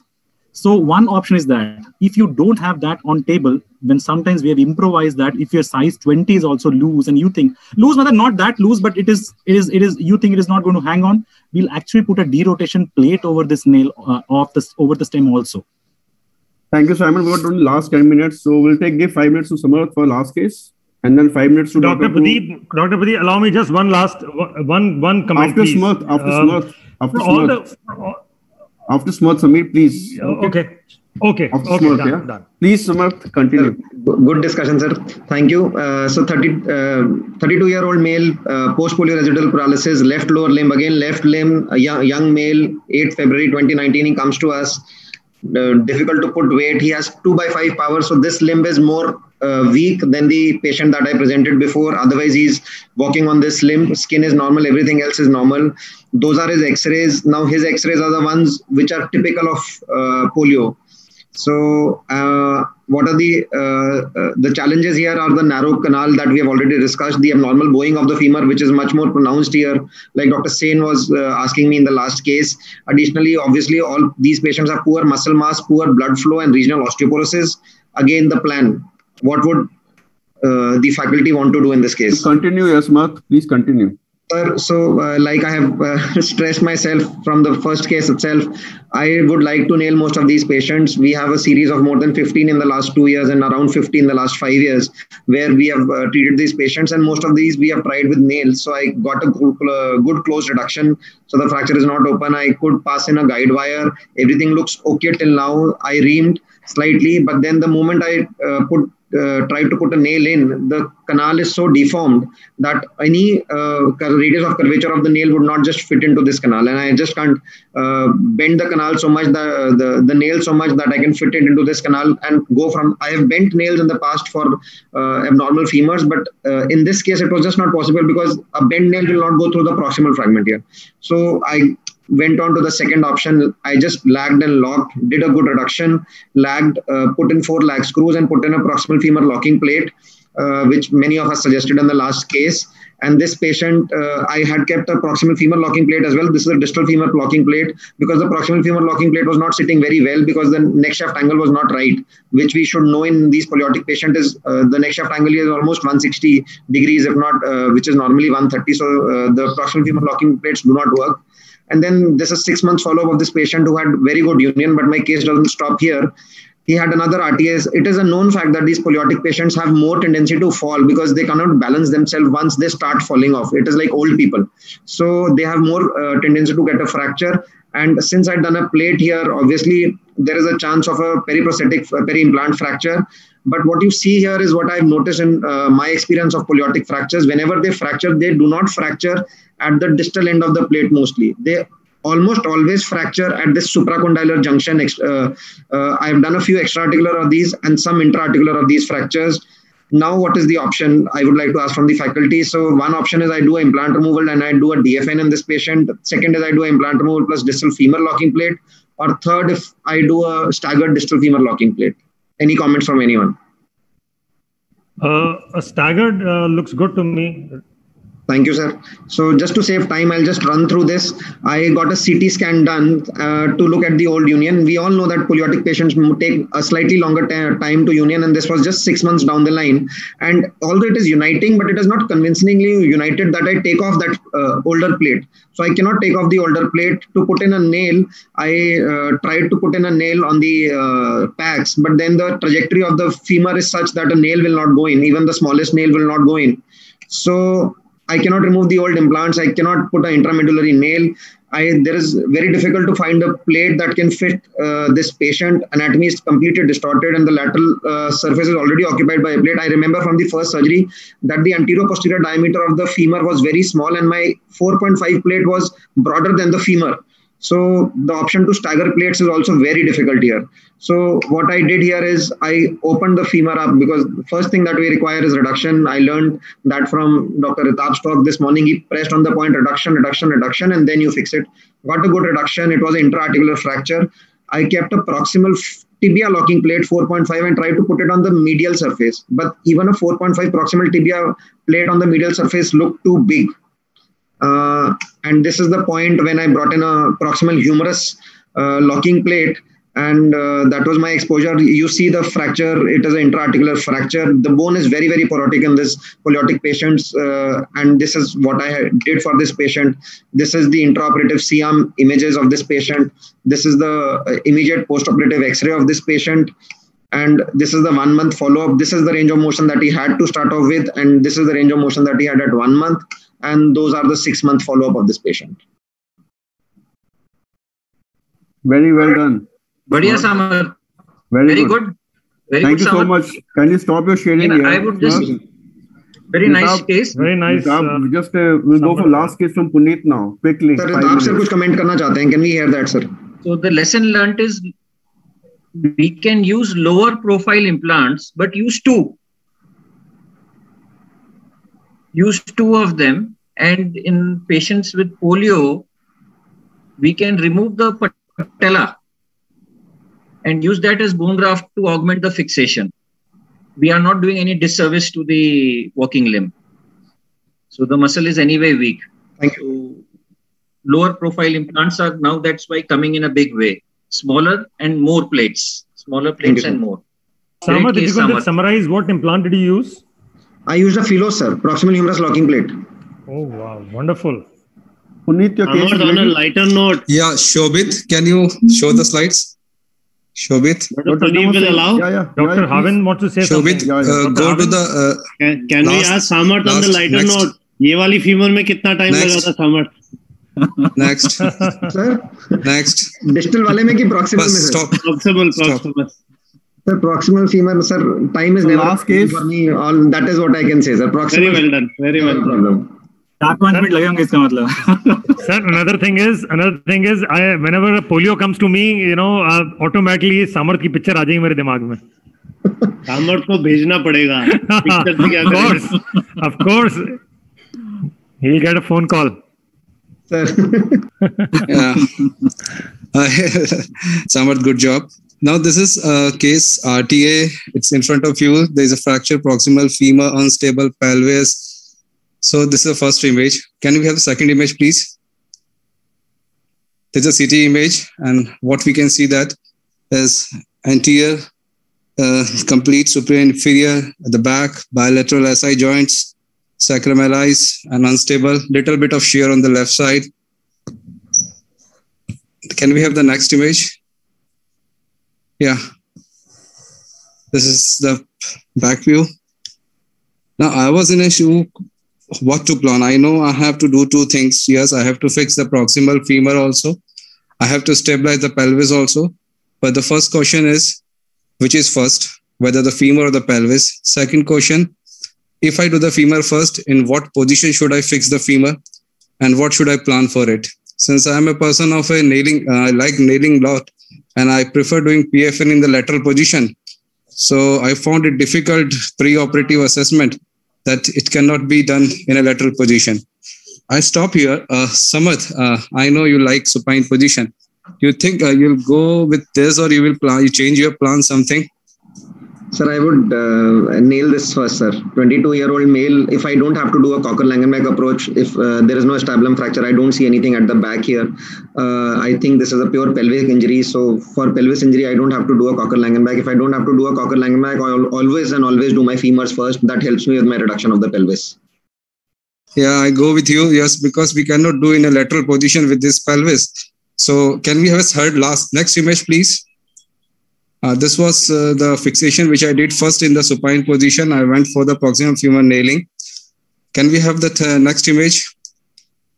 Then I tried to fix up the anterior anteriorly. And after the anterior fixation, we shift the patient in a semi-lateral position and try to have a minimal fixation of both uh, posterior iliac spines with a long LCDCP plate, little bit band.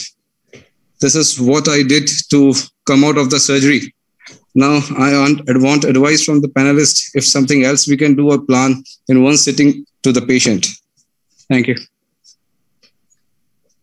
Please, comments. Sir, uh, the only thing I would do differently is um, uh, instead of a plate at the back, I would do iliosacral screws, and iliosacral screws can be easily put in 10 15 minutes in supine position. So if I'm You are right. You are right. I tried. I was planning for the same. But when I tried to put uh, measure out the screw lengths available to me, I made a mistake that I was not having that big size of 120, 130 available on table. So I had to go for this option. You're right. That was the option to me.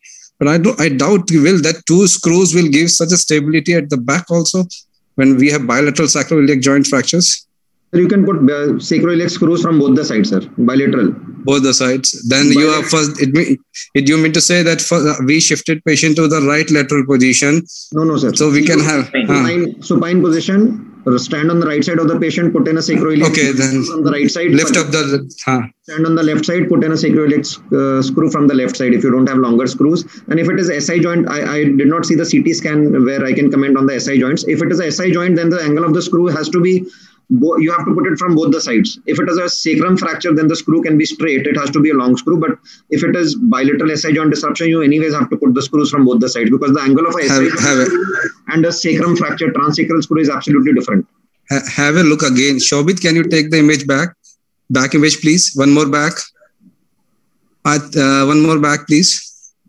Now look at this. If you little bit do, we have on both sides. Sir, the right SI, the right SI joint, uh, there is a looks okay, but the left is shattered. Left Yeah. is shattered. Left is through the sacrum, not the joint. Yeah. Ah, it's the sacral is completely broken off. Yeah. Yes, sir. So that is what I was saying. So this can probably do with the transsacral screw because this is more of a sacrum fracture than a SI joint disruption. So, uh, but yes, uh, doing a plate is also uh, right, sir. Yeah, I take your point. And Ritabh sir, something else you would like to advise? No, it's a very well managed case. So what it tells us is we should not be fixed on one that I will only do this. We should be Yeah. familiar with nailing in supine, in lateral, in whatever position you can do. Thank you very much. Thank you. I exit now. Yeah. Another comment And that take this- care. तेरा सांस फूल रहा है Yeah, bye. he's तेरा सांस I'm not short of breath. I'm short of breath. Yeah. तो Okay, bye. Saturation कितना है Uh,